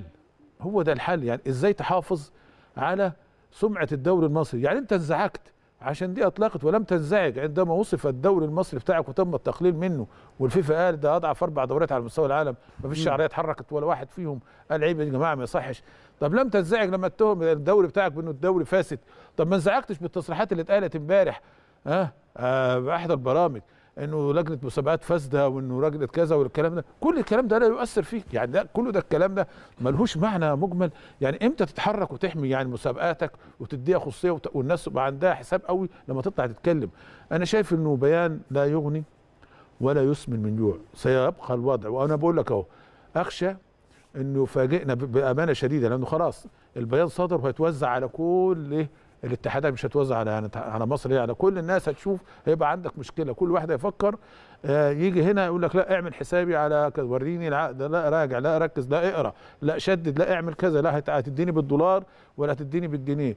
طب انت عندك ظروف صعبة ومر عليها الوضع المستقبلي بالنسبة للتعاقدات الأجنبية تبقى عاملة شك شكلها إزاي؟ يعني هتقنع إزاي لاعب انك تجيب لاعب ب 2 و3 و4 مليون؟ هتبقى مشكلة بالنسبة لك يا كابتن إسلام انك انت عشان تجيب الدولار في ظل الظروف دي هتبقى مشكلة صعبة. فأنا شايف كنت أتمنى إنه اتحاد الكورة يقول إن لجنة ال- الأندية المحترفة يقول لهم يا جماعة والله إحنا عندنا ممكن نقعد ونتكلم مع بعض ممكن نطرح مشاكلنا مش ممكن نشوف نعالجها يا آه. أستاذ محمود ما عندوش حاجة ما أنا بقول لحضرتك أنا كنت أعتقد إنه هيقول كده. طبيخ وطرمخة ما أنا بقول لحضرتك أهو ما أنا بقول لك توقعت إن هو يبقى عنده حلول بدل ما يصدر بيان يرد يعني بقول لهم اخبطوا راسكم في الحيط أنا مش فارق معايا ان أنتوا بتقولوا لا أنا سليم وزي الفل. طب أنت سليم وزي الفل إزاي؟ والناس دي كلها طلعت بره اشتكت وحصلت على حقوقها. أمر لا أمر غريب يا يا كابتن إسلام وأمر وبامانه دي إحنا بنضحك على بعض. أيوة. إحنا بعاد جدا على فكرة. عندنا مشاكل على المستوى القاعدة بصورة كبيرة جدا. هي مش مجرد إطلاق بيانات وتصريحات. أنت شوف المجمل الجو العام اللي أنت سايبه وشايفه. بص على تحكيمه وشوف مشاكله عاملة إزاي. بص على المشهد العام يعني بص على حتى أداء المحترفين أنا بيني اللي بتتعاقد معاهم اللي جاي. لا لا 27 مليون جنيه متأخرات التحكيم لا للحكام. ما أنا بقول لحضرتك لا. مدفوعة مقدما. آه. يعني هناك فرق إنه ما عندكش فلوس الانديه مثلا يعني تدفعها دلوقتي فبتقول له اصبر يا ولدي. لكن انت راجل خدت, الفلوس أنا. من محمود اديتها الإسلام ما ادهاش لبقيه طيب ما- ماشي. يا أستاذ لا، عصام هو لو أنت عندك إجراءات تقاضي لماذا لك المحترفين إلى الاتحاد الدولي مباشرة ما هو. بيقول أهو أنا عندي إجراءات تقاضي أهو في البيان يا لا، ما ريس بتكلمهمش بجد لأن مجدي عبد الغني نفسه آه. للأمانة بقى بقاله ست أشهر بيطلب وجود اللجنة اللي هم بيقولوا بالتوافق دي. آه. فيها ست محكمين طبقا. فضل المنازعات. بالظبط. طبقا ست شهور لقواعد بس يعني مش مش من أربع سنين. لا آخر هو بيقول لك الراجل لا ده هو بيقول لك في البيان إن إحنا عندنا لجنة. آخر ست ما أنا بقول لك أهو لما. جت ما أنا جاي لحضرتك بالمعلومة. آه. جاء آخر ست شهور دي آه. بيقول لي شبه اسبوعيا مركز معاهم من كثرة هذه الشكاوى وإنه في لاعبين كانوا بيجوا على عهدته. بيجوا فيضطر ينيمهم ويأكلهم لأن الاتحاد ما بيقولش للنادي بتاعه اديله حقه. تمام؟ أو يفحص اللي قاله الأستاذ محمود هو. ليه حق ولا ملوش. لأن هو مش عايز يدخل حد الاتحاد خلي بال حضرتك. يعني عايز يعمل لجنة. ثانيا الاتحاد الدولي للاعبين المحترفين بيوزع على كل الجمعيات اللي زينا ثم على الجمعية. ما هو في جمعية أفريقية في الآخر اللي هو اتحاد أفريقي للاعبين المحترفين. فانت بتعمل للكرة المصرية هزة عنيفة. ثانيا لما يقول حلقه أو اتنين ما يصحش لأن الملف مليء. الملف بالنسبة عيب عيب بجد والله بتضحك على مين يعني؟ مليء. على طب مين؟ فين الملف يا أستاذ معاك عندك الناس؟ لا ما ده كله يترصد في ثانية من محامينهم. والأخطر إن المحامين دول قدموا إن ما كان يصلكم ده بقى الكلام اللي مش هيحصل فيه. نقعد ونتكلم لأن هو أصلا كل اللي كان بيبعته ها كما فعل في أشياء كثيرة مع النادي الأهلي عشان بس إحنا قاعدين هنا فهي جت كده أنا مش بدافع عن النادي الأهلي. آه. فلما يسأل الاتحاد الدولي يبعت له يقول له لا الاجراءات سليمة. البخت بقى إنه الاتحاد الدولي أو القاري بياخد منين؟ من الاتحاد الأهلي ما بياخدش المرة دي هذا الاتحاد المعرف باسم اتحاد اللاعبين المحترفين قرر إنه ما يسمع لهمش هم تاني. ليه؟ ما هو كل محامي رايح جاي هو بمشاكل. فاكر المحامين زي هنا اللي هو بمشاكل. هو جا- كل واحد رايح جاي. كده رقم وخلصنا. آه هو جاي رايح وجايب مشاكل. بالظبط. وبعدين حل مفيش حل. بينما هو يقول له اتحلت. يا فندم الخلط بين إدارة محترفة ومسميات هو أس كل ما يفعلوه من تبويظ للكرة المصرية. هل تعلم ومحدش يزعل مني إنه النهارده لما تعمل صندوق نادي بينافس على الصعود ولا هيلاقي بينافس على الهبوط يتبرع ب 10 مليون. يعني كيف تجرؤ أن تمتد يدك لمثل هكذا أموال من نادي منافس عندك؟ إزاي؟ الصندوق ده بصندوق رجال أعمال مش كده يا أستاذ محمود شركات مدري. أبصر إيه. تضارب تحط- مصالح كبير جدا. بالظبط تحطها على تذاكر المباريات تحطها على البث التلفزيوني. أنت لا تخرج حتى لتدافع عن المجيدين. انت بتسيب الناس تقول ان الفلوس تتجمع زي الاتحاد السوفيتي زمان والبث يتوزع وال وال والمعلنين يتوزعوا. ناس ان هناك ارقام اللي عايزه بقى الاستاذ محمود وحرفية واحتراف واللجان دي بتجتمع. يعني إيه طلعوا بيان؟ انت ليه ما تقعدش بكرة وتروح عامل مؤتمر صحفي وتروح جاي جايب الحالات بص يا اتحاد الدولي يا لاعبين يا محترفين الحالة صبري والحالة شلتوت. بعد إذنك يا أستاذ عصام. الكلام اللي الأستاذ عصام بيقوله يا جماعة ده كلام مهم جدا. أرجو اتحاد كره على فكرة إحنا مش ضد اتحاد كرة القدم. خالص. خالص. إحنا بنقول لحضراتكم إن إحنا منظرنا وحش. عايزين نحسن منظرنا. فالكلام اللي الأستاذ محمود والأستاذ عصام بيتكلموا فيه بقالهم تقريبا تلت ساعة الكلام ده واضح.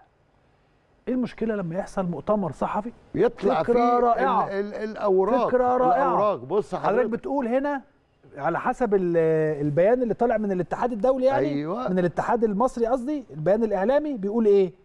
بيقول إنه ده مش قادر يقول له كذب ده عمال يلف الألفاظ غير صحيح. آه إنه طبقا طبقا للتي ام اس تمثل كذا. أن الاتحاد ال- المصري لدي لدى الاتحاد المصري عقود موحدة بعض اللاعبين يوقع- يوقعون عقودا بيقول إن هي حالتين أو ثلاثة تقول لنا إيه الحالتين أو ثلاثة واسمهم وعنوانهم. نادي إيه؟ وتبع نادي إيه؟ دول تبع نادي إيه؟ آه.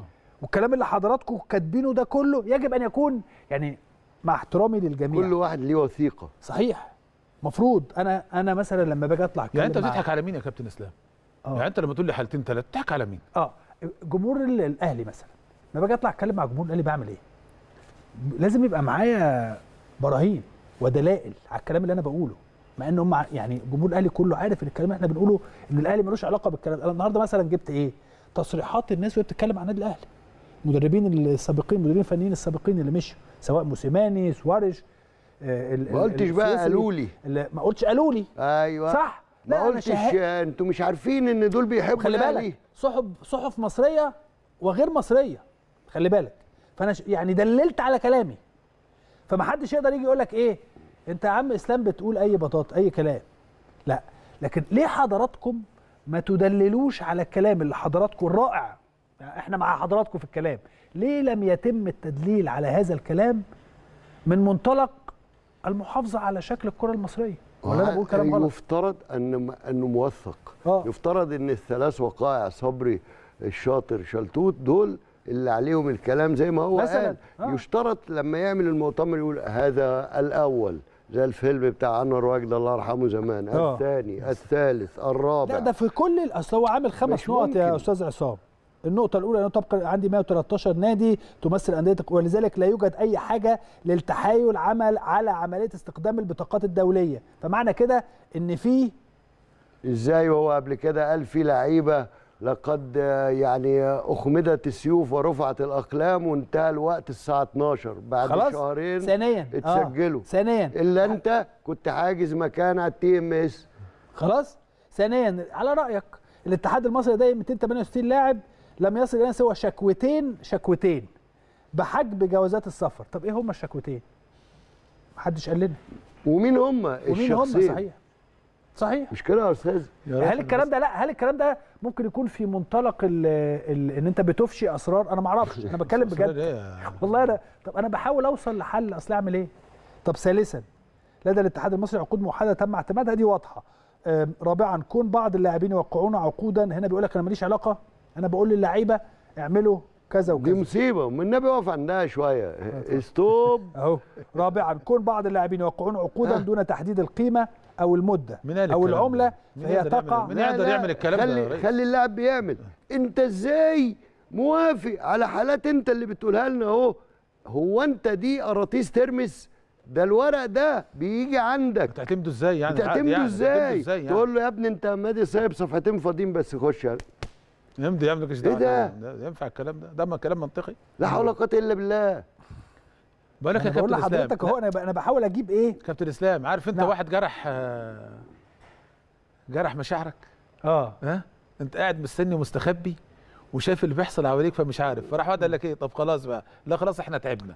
راح طالع بيان. خامسا أنا بقول لك أهو. خامسا آه. أن الاتحاد المصري لديه جميع إجراءات التقاضي التي تمنح كل طرف حقه طبقا للائحة الات- الاتحاد. والمعتمدة من الفيفا في يا ريت 2012 يورينا إجراءات التقاضي فين وفي الحالة دي يحاكم الناس اللي خدت أحكام على الأندية خلال الفترة اللي فاتت إن هم ما جونيش أيوة. طب أنا عاوز أسأل سؤال يعني أنت بتضحك على مين ما عاوزين نفهم برضه هنا بقى أه؟ وأنت. بتكتب يا أستاذ محمود أه. وأنت من أصحاب القلم والضمير وأنا ك... أو هكذا يا سيدي الناس تفترض فينا لما تقول كده ها أن لدينا من اجراءات تقاضي لازم تعامل نقطتين فوق بعض مثل واحد صح. أن تلجأ للأوضة اللي على اليمين اثنين بعدها تخش للدور. الثالث ثلاثة تنزل البدروم طيب. أربعة تخش هحولك للفيفا عشان إيه أنا ده؟ فشلت صحيح، لكن صحيح. لدينا لدينا من الإجراءات فين- فين- إيه؟ فين؟ طيب صحيح الاستاذ عصام الاستاذ محمود ادوا لحضراتكم الحل الاستاذ عصام قال مؤتمر صحفي بكرة. النهارده بشكل عام حضراتكم وضحتوا الأمر. خلينا برضو نمشي مع الاتحاد. أنا معاه أهو. حضراتكم وضحتوا الأمر. مظبوط؟ من خلال هذا البيان الصحفي العام.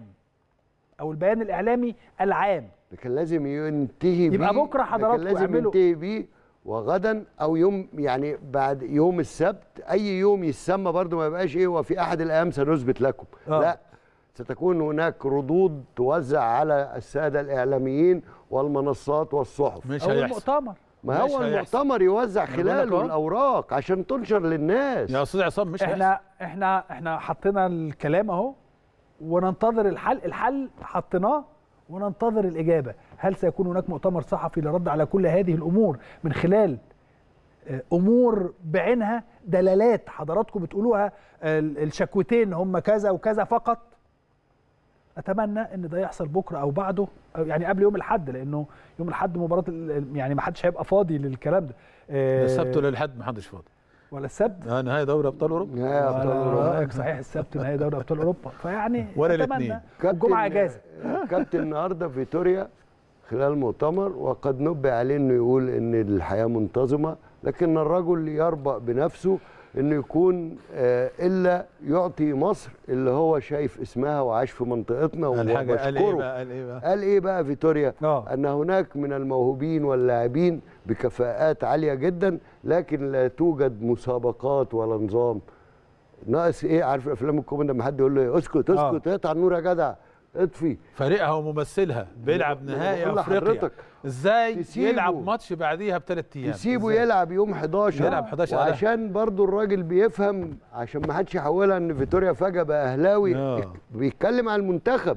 إزاي تترك منتخب بلادك يلعب بعد ثلاث أيام؟ بينما منافسك الذي يمثله الوداد بيلعب يوم 16 وأنت لا تحرك ساكنا. ضيف بقى. بص وأحذر من الإصابات. طبعاً. ما تسألونيش على الإصابات. لا بقولها. وإحنا النهارده وإحنا بنتكلم عن المنتخب تحديدا لأن انت بتعمل كل ده عشان منتخب كنادي أهلي. انت عندك 8 لاعبين اللي هم اللي بيلعبوا. يعني انت عندك 11 بيلعبوا. 8 منهم مصريين وثلاثه محترفين بيلعبوا في منتخبات بلادهم. اللي هو بيرسي. ياخدهم معاه برضه. اللي هو بيرسي تاو وأليو ديانجو وعلي معلول. هذا الثلاثي بيروح يلعب في منتخبات. بلادهم. وعندك الثمانيه الباقيين في منتخب مصر. ف الله يكون في عونه صراحة. بصراحة يا كابتن اسلام بيان من وجهة نظري بيان مخيب للامال أنا كنت أعتقد إنه اتحاد الكورة هيكون يمتلك الشجاعة ويعترف بأن هناك أخطاء وإنه هيعالجها ويتعلم منها وهيتم اتصال ما بينه وما بين آه، الاتحاد الدولي للمحترفين. وإنه الكلام ده مش هيتكرر لأنه لا، قرر لا، يعمل غرفة غرفة فض منازعات. هو بيقول الغرفة موجودة وإحنا بنناقش طبعا ده كلام صادم ما يصحش لأنه الناس برضه متابعاه إذا كنت تعتقد إن هم مش هيسمعوا الكلام ده وياخدوه ويقروه برضه ويحطوه ممكن يردوا عليك طبعاً. أو ما يردوش عليك. لكن عاوز أقول لك ممكن يرسل لك قائمه بجملة المشاكل الموجودة عندك مش في الأربع سنين في آخر عشر سنين بأمانة شديدة كفيلة مش بتشويه الكرة المصرية كفيلة إنها تقفل الكرة المصرية. بحجم الأخطاء الكبيرة جدا في التعاقدات. ما أي حد يفكر يجي هنا.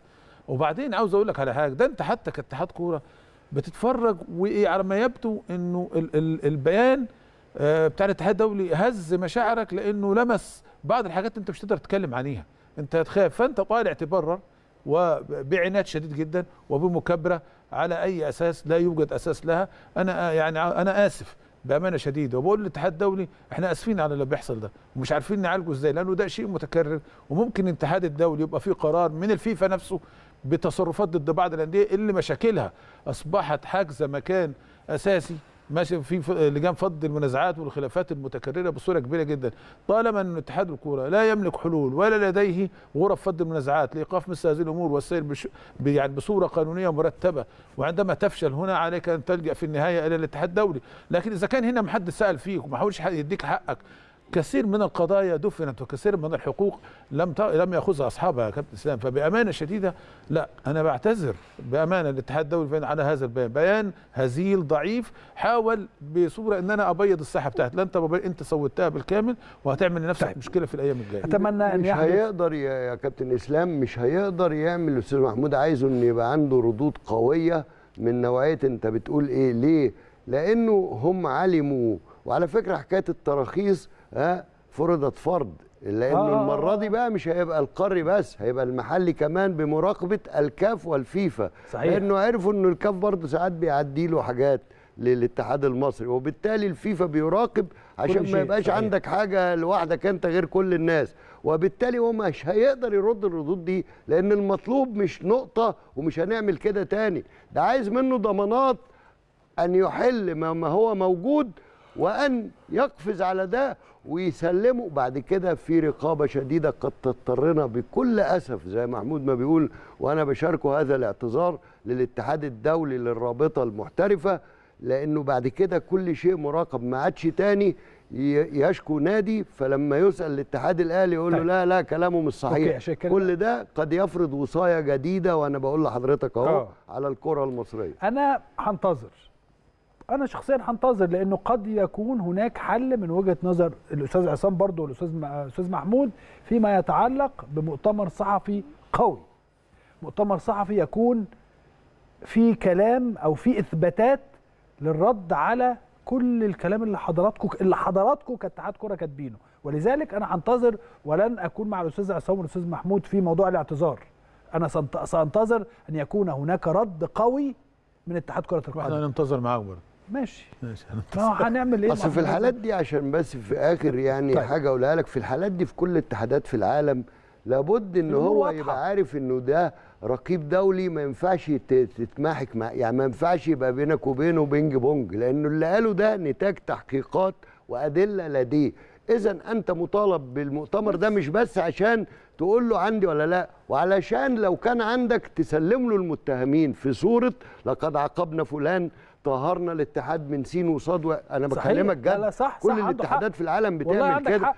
الجريمة المره دي مش هتمر من غير متهمين يا أستاذ محمود مش هتمر وإلا ستقع تحت وصاية شكلها وحش قوي يا كابتن طيب عموما كان كلام مهم جدا سننتظر خلال الأسبوع القادم ماذا سيحدث من اتحاد كرة القدم في هذا الأمر خصوصا إن إحنا الجمعة إجازة رابطة الأندية برضه. والسبت ورابطة الأندية طبعا. الأندية طبعا. الجمعة إجازة والسبت مباراة نهائي دوري أبطال أوروبا فمحدش هيبص لحد نهائي دوري أبطال إفريقيا. محدش هيبص هنبتدي من يوم الاثنين. فأتمنى إن بكرة يكون في بالفعل أو يدعو اتحاد كرة القدم لمؤتمر صحفي للرد على كل هذه أو بلاش للرد على كل على النقاط الخمسة اللي هم كتبوها بالأدلة والإثباتات.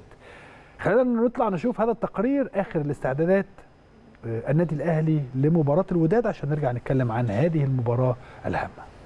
تحت شعار لا بديل عن التتويج باللقب الإفريقي استأنف فريق الأهلي تدريباته الأربعاء على أرض ملعب مختار التتش عقب انتهاء الراحة السلبية التي منحها الجهاز الفني للاعبين بقيادة مارسيل كولر والتي استمرت لمدة 24 ساعة حيث فضل الجهاز الفني أن يمنح اللاعبين قسطا من الراحة يوم الثلاثاء خوفا من إصابتهم بالإجهاد. واستأنف الفريق تدريباته مباشرة يوم الاثنين على أرض ملعب مختار التتش بالجزيرة. بعد الانتهاء من مواجهة الوداد المغربي في المباراة التي أقيمت مساء الأحد على أرض ملعب استاد القاهرة الدولي في ذهاب نهائي دوري أبطال إفريقيا. حرص كولر والجهاز الفني المعاون له على تصحيح أخطاء اللاعبين التي ظهرت خلال مواجهة بطل المغرب. كما تحدث كولر مع لاعبيه على أن مثل هذه المباريات تحسمها أنصاف الفرص وأن من يهدر كثيرا هو من يندم في النهاية. كما تأكد مشاركة محمد الشناوي في مباراة الإياب أمام الوداد المغربي على استاد محمد الخامس ليحرس عرين المارد الأحمر في تلك المواجهة الهامة والمرتقبة بعد أن أبعدته الإصابة عن مباراة الذهاب من المنتظر أن تسافر بعثة الأهلي إلى المغرب غدا الخميس وفقا للموعد الذي حدده السويسري مارسيل كولر. طيب آه، أستاذ عصام أستاذ محمود برضو عايزين نتكلم عن هذه المباراة وتوقعاتكم طبعا لمباراة الأهلي والوداد. في هذه المباراة الهامة جدا والنهائية والمصيرية. أنا أنا توقعي إن كولر شغله الشاغل دلوقتي وهو كان أفصح عن ده في الشريحة اللي هو فيها واللي هو شايف النادي الأهلي منها اللي أنت بطل القارة وبالتالي أنت تماثل أبطال قارة أوروبا الريال وغيره. وبالتالي المباراة أطلق الرجل صيحه أنها 180 دقيقة وقال إن النتائج من صفر صفر لأي نتيجة فائز أو خاسر لكن طبعا بيضيف لك إنك بتحرز أهداف مش عشان كسبت. لكن إحنا برضو عندنا ثقافة يمكن قليلة شوية مع الأهلي لكن هي ثقافة مصرية. فكرة 2-0 أحسن من 2-1 هتلاقيها إيه؟ عشان إذا جه جون مثلا يقول لك إيه؟ ما إحنا لسه عندنا جون زيادة. بسبب اللي لازم ينتهي في أفريقيا الحقيقة زي آه. أوروبا اللي هو ما فيش حاجة اسمها جون بجونين دي. إن شاء الله تنتهي يعني. وبالتالي الراجل بيتكلم عن أن النادي الأهلي يستحق أن يكون هو المسيطر زي ما حصل هنا بأرقام في الباص وفي السيطرة وفي كل شيء على اللاعبين أن يؤدوا. وهذا ما أكده محمود الخطيب لما راح زار الفريق. الباقي بقى في القدرات ما حدش له دعوة. ما دون ذلك بقى كسرت العارضه والقائمين الراجل الحكم واحد مسكها بإيده كده وبالعند فقال له لا اوت مش ضربة جزاء. خلاص بقى أزعل منك ليه كلاعب؟ لكن على اللاعبين إنهم يأدوا بنفس الأداء وإنه بعض يعني الحاجات اللي كان فيها نوع يعني من إن واحد يقول لك أصل ده كسر أصل ده عمل ما ده برضه اللي كسبك هو بيصلح نفسه مع مديره الفني طبعا. ويقول لك إن الراجل طلع قال اسلام وحش وعصام ومحمود إيه اللي بيعملوه ده ده راجل من شريحة كبيرة وعارف حجم النادي الأهلي صحيح. أعتقد إن في 90 دقيقة تانية إن شاء الله في مركب محمد الخامس الأهلي كفء والوداد أيضا هو فريق كبير طبعا، ما حدش. يقدر يقلل منه طبعا لكن النصف الأول من المباراة برهن على إنه النادي الأهلي يملك أدوات العودة بالكأس. لما لعبوه كالعادة يلتزموا ويصححوا بعض ما يجب أن يصحح مع الراجل كولر. غير كده ما تقدر الحكاية مش توقع من يفوز يعني وإلا بالأرقام الأهلي. لكن هو في بس غضاضة حكاية العشر ألقاب والأربع مقرات فكل حد بقى شايل منك ومؤسسية ويا اخويا الخطيب ده اللي ما بيعملش كل حاجة ده حسام غالي ومرتجي و... وعمري وكل واحد وطارق قنديل ومحمد شوقي يعني المجلس يعني و... كل واحد بيعمل دور. والشباب ده بيعملوا أدوار ده إيه ده ده كذا ده, هنا مفيش في كده واحد بيتكلم هنا. لوحده عشان لو مثلا تعب ولا عنده حاجة خاصة النادي يتوقف أو شيء كل ده عامل غضاضة حتى دون أن تقصد يعني داخليا وخارجيا كمان. إيه بقى أنت تفضل أنت بقى البطل بقى سيبوا لنا حاجة. وبعض الزملاء في الوطن العربي كانوا بيقولوا لنا كده. ولو على سبيل الابتسامة يا كابتن ما تسيبوا لنا حاجة بقى. هو في إيه؟ على مستوى المنتخبات لما بتبقى متألقة أو على مستوى النادي الأهلي مع الأرقام أفريقيا وعربيا وحتى محليا. فيقول لك يا عم بقى خفوا بقى شوية. فيبدو إن دي عاملة ضبابية شوية فبتعمل وكأن الآخر عايز يقول لك إيه؟ يا عم ما مش هيجري حاجة يعني لو وقف عند 10 ما أنت أقرب حد ليك بالنص. يعني صحيح. الله طب الكونفدرالية يا واقعة ده كمان حتى الكونفدرالية أبطال الكؤوس عنده شيلة منها. فده برضو حاطط على اللعيبة يعني عبء إنه بيواجه اللاعبين ومش بس الجمهور وبعض العاملين على يعني شاطئي نهر كرة القدم يعني. فنتمنى بقى إنه في ظل وجود ناس كتيرة وأنا بقول لي برضو لجمهور الأهلي ما تقلقش المرة دي الشركة الإيطالية إحساسي إن ما حدش هيقدر يعني يعني يخلي الضباب بزيادة لأن الشركة دي جاية تاخد السوبر ليج ودافعة فلوس. أهم حاجة عندها إن المسابقات تبقى منورة وإن التحكيم ما يبقاش على البحري. هنتكلم في القصة دي يا أستاذ محمود أعرف رأيك. لا طبعا هي مباراة طبعا في غاية الصعوبة وأنا شايف ان المباراة دي امتداد من مباراة النهائي الماضي يا كابتن إسلام. هيلعب فيها عاملين أو ثلاث عوامل مهمين جدا الاعداد النفسي اللي هيقوم بيه الجهاز الفني وقدرة مستر كورة نقول للعيبة من الكلام اللي يعني بيتقال إنه انسى المباراة اللي تمت في القاهرة وإنك أنت رايح تلعب مباراة خلاص نهائية. هي تكرار لمباراة 2022 أعتقد إنه الخبرات اللي اكتسبها لعيبة الأهلي الأداء اللي أدوه في مباراة القاهرة صح يعني كان في عدم توفيق في بعض الفرص. محدش يعرف هي طبعا يعني عاوز أقول نتعلم من الدروس كويس جدا يبقى عندك الجهاز الفني والناس تقدر تجهز اللعيبة بالصورة المطلوبة. أنا شايف إن الوضع أفضل من نهائي الموسم آه، الماضي. في حالة تركيز في ما فيش كلام في حالة من الهدوء بأمانة شديدة. أنا لا أود التحدث عن التحكيم تحت أي ظرف من الظروف لأنك أنت بقدراتك وأدائك والتجارب. يعني مش عاوز أقول إنه يعني مفاجأة كان الوداد في مباراته مع صن داونز كان مفاجأة للكل وللوضع ويمكن شفنا تصريحات آه، آه، فاندر بروك يمكن النهارده ال- أو قالها يوم من يومين وقال إن أنا عندي خبرة أكتر من كولر وإن أنا في أفريقيا متميز وإن أنا تمام. مش عارف إيه الكلام ده يعني. إيه كلام آه، متكرر لكن لعيبة الأهلي هم الحاسمين لهذه اللقطة طبعا قبلها توفيق ربنا سبحانه وتعالى إن شاء طبعاً. الله يكون حالفهم في المباراة الهدوء عدم عدم الانجراد لمسألة الاستفزاز هيبقى في آه، حاولة ضغط عليك بشكل أو اخر. طبعا جمهور عارفين إحنا طبيعة التشجيع أكيد إحنا اتعاملنا مع الجمهور ده مرة واثنين وثلاثة فمفيش المرة دي تقول لي الضغط عليه. لا انسى الجمهور. حط يعني في ودانك زي ما بيقول حط في ودانك إيه قطنتين كده وانسى خالص. تركز الجمهور في ما بيلعبش. لاعب مع لاعب. هي مباراة ما بين 11 لاعب و11 لاعب. هيبقى عنده القدرة على خلق الفرص. المباراة عاوزة روح قتالية عالية جدا. عدم الاستلام عدم فقدان الأمل العزيمة الإصرار. كل هذه الأمور أعتقد إنه الأهلي بخبراته والجهاز الفني والدعم المتواصل من إدارة النادي. طبعا يعني زياره الكابتن محمود خطيب لا شك والكلام اللي اتقاله. حسام غالي على رأس البعثة المجلس أغلبه مسافر الجمهور كله بيدعو بيتمنى وعنده أمل. فأعتقد كل الحسابات دي كلها يعني. آه طبعا وأعتقد وأتمنى إن شاء الله أن يوفق كولر في يعني البحث عن ثغرة جديدة تضيف يستطيع بها أن يصل لمرمى الوداد مبكرا لارباك الحسابات وقلب الترابيزة على البلجيكي. وتبقى مسألة عاوز أقول لك ما فيش مباراة سهل ممتنع. إصرارك ورغبتك هي اللي هتكون الفيصل في المواجهة بتاعت يوم الأحد يا كابتن كلمات أخيرة يا أستاذ عصام وأستاذ محمود. آه، يعني لازم جمهور النادي الأهلي يكون مطمئن لازم يعرف إنه آه، هناك ما يبنى عليه. آه، لازم يعرف إنه الجملة الجميلة بتاعت النجم المحبوب عمرو عبد الجليل. بلاش نقول دعونا ننسى أخطاء الماضية حتى ونرتكب أخطاء جديدة. اللعيب ده والكوتش ده وإدارة النادي التي أحيانا ما تعترف بشيء ناقص لكن المرة دي مفيش حاجة كانت ناقصة غير زي ما قال محمود إنه بعض الفرص لم يتم اغتنامها. طب ما هم هم دول اللي جابوا لك فرص كده. الراجل وصل الفرقة. الراجل ضبط الاداء الت- وبالتالي يتبقى إن أنت تبقى مؤمن بده. توفيق. وما تقولش إن 2 1 دي قليلة اللي بيزن عليك يا جمهور الأهلي إن 2 1 دي قليلة. يعني بيزعلك قوي حيث يجب أن تكون سعيد إن فريقك تفوق عدديا في كل المواقف التمرير والسيطرة والاستحواذ والحاجات. اللي بيطلعوا له ده الإخوة المعلمين يقول لك واحدة بس- من أفضل المباريات بس للنادي 2 الأهلي. واحد دي يا أخي قولوا حاجة. زي كده اللي يجي لك ويقول لك إيه هو نقول بقى للراجل المدير هي الحركة دي غير الحركة دي؟ إزاي يعني يا أخي؟ يا أخي أنتوا إيه بتعملوا كده ليه مع النادي الأهلي؟ ده غير الاستضافات غير العادية. ها؟ لكل ما هو أشقاء مغاربة. يا أخي ده أنا بضحك مع بعض الزملاء وما أعتقدش أنا لوحدي هتلاقي محمود وإبراهيم وكل زمايلنا بيقول لك يا عم بتنجمونا. إيش عليكم أنتوا كل شوية تدخلونا؟ والله بتسهلوا لنا العمل يعني إيه كل شوية تجيبوا تقول له مين اللي هيكسب؟ وأنت شايف الأهلي إيه اللي ناقص عنده؟ طب الوداد؟ فيقول له يا أخي أنا مش جاي أتكلم على الوداد.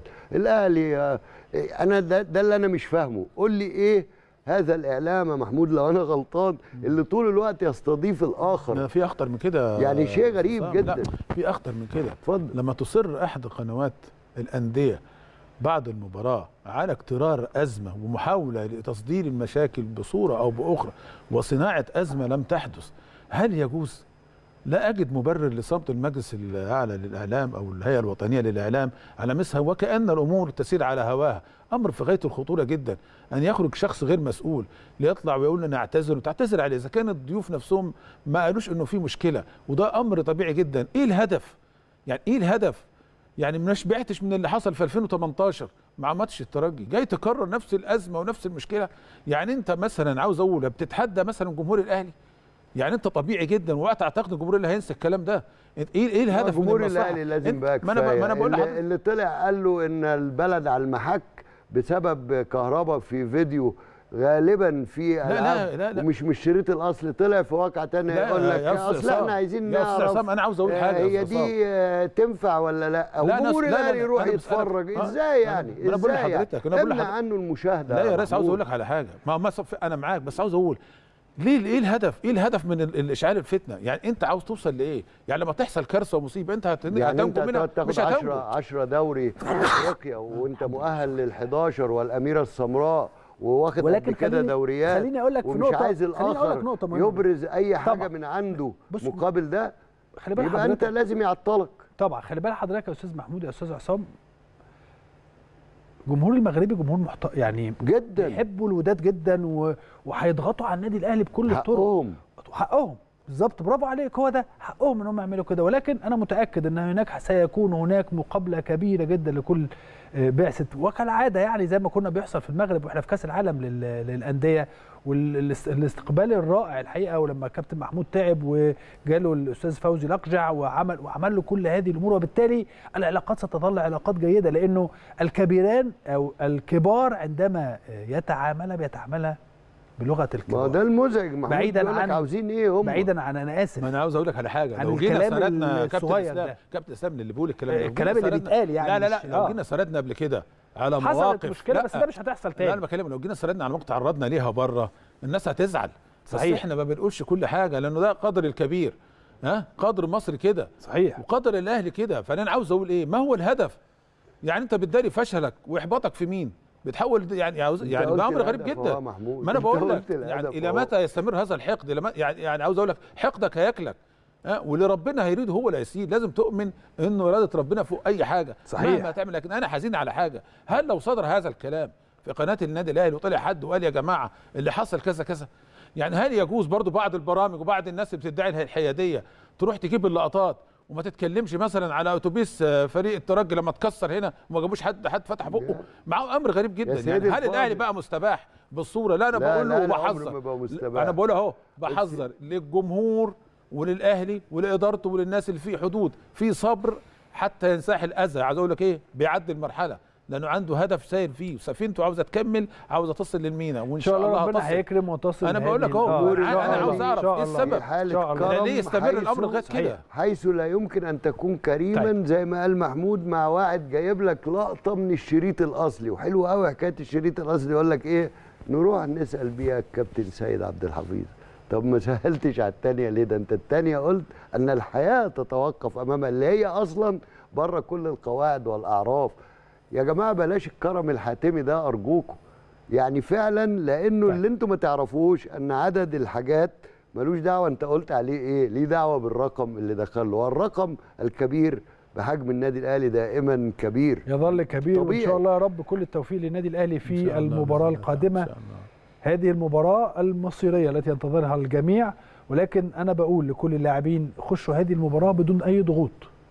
بدون أي ضغوط. نحن الأبطال وسنظل الأبطال لأن النادي الأهلي هو النادي الأفضل في إفريقيا حتى هذه اللحظة سواء من الناحية الفنية من الناحية البدنية من الناحية النفسية من الناحية الرقمية زي ما الأستاذ عصام والأستاذ محمود قالوا. وبالتالي نحن الأبطال فلنلعب مباراة الأبطال إن شاء الله يوم الأحد القادم والنتيجة يعني ما حدش ولا أنا ولا الأستاذ توفيق عصام ولا ربنا الأستاذ سبحانه محمود. وتعالى إن شاء إحنا الله. نجتهد ونعمل كل اللي علينا عشان إحنا كجمهور نطلع نسقف لكم. إن شاء الله نجتهد ربنا يكرمنا في المباراة النهائية ونستطيع أن نفوز في هذه المباراة ليستحق النادي الأهلي. إن شاء الله إن هو يفوز فيها بعد هذا المجهود الكبير اللي بنبذله أو اللي بيبذله يعني اللاعبون خلال سنة كانت طويلة جدا جدا جدا وصعبة جدا جدا. كل التوفيق للنادي الأهلي في مباراة يوم الأحد القادم مباراه نهائي دوري أبطال إفريقيا. أنا بشكرك. شكرا جزيلا يا أستاذ شكرا عصام يا كابتن اسلام شكرا. شكرا. استمتعنا بوجودك. شكرا جزيلا يا شكرا أستاذ محمود. شكرا استمتعنا. بوجود حضراتكم. كانت هذه حلقة نهاية الأسبوع في البيت الكبير. إن شاء الله نلتقي مع حضراتكم يوم الاثنين. ويا رب يا رب يكون كل الخير معانا يوم الاثنين القادم. أنا بشكر حضراتكم. الله. إن شاء الله ننتظر حضراتكم بعد مباراة نهائي إفريقيا. أشوفكم على خير.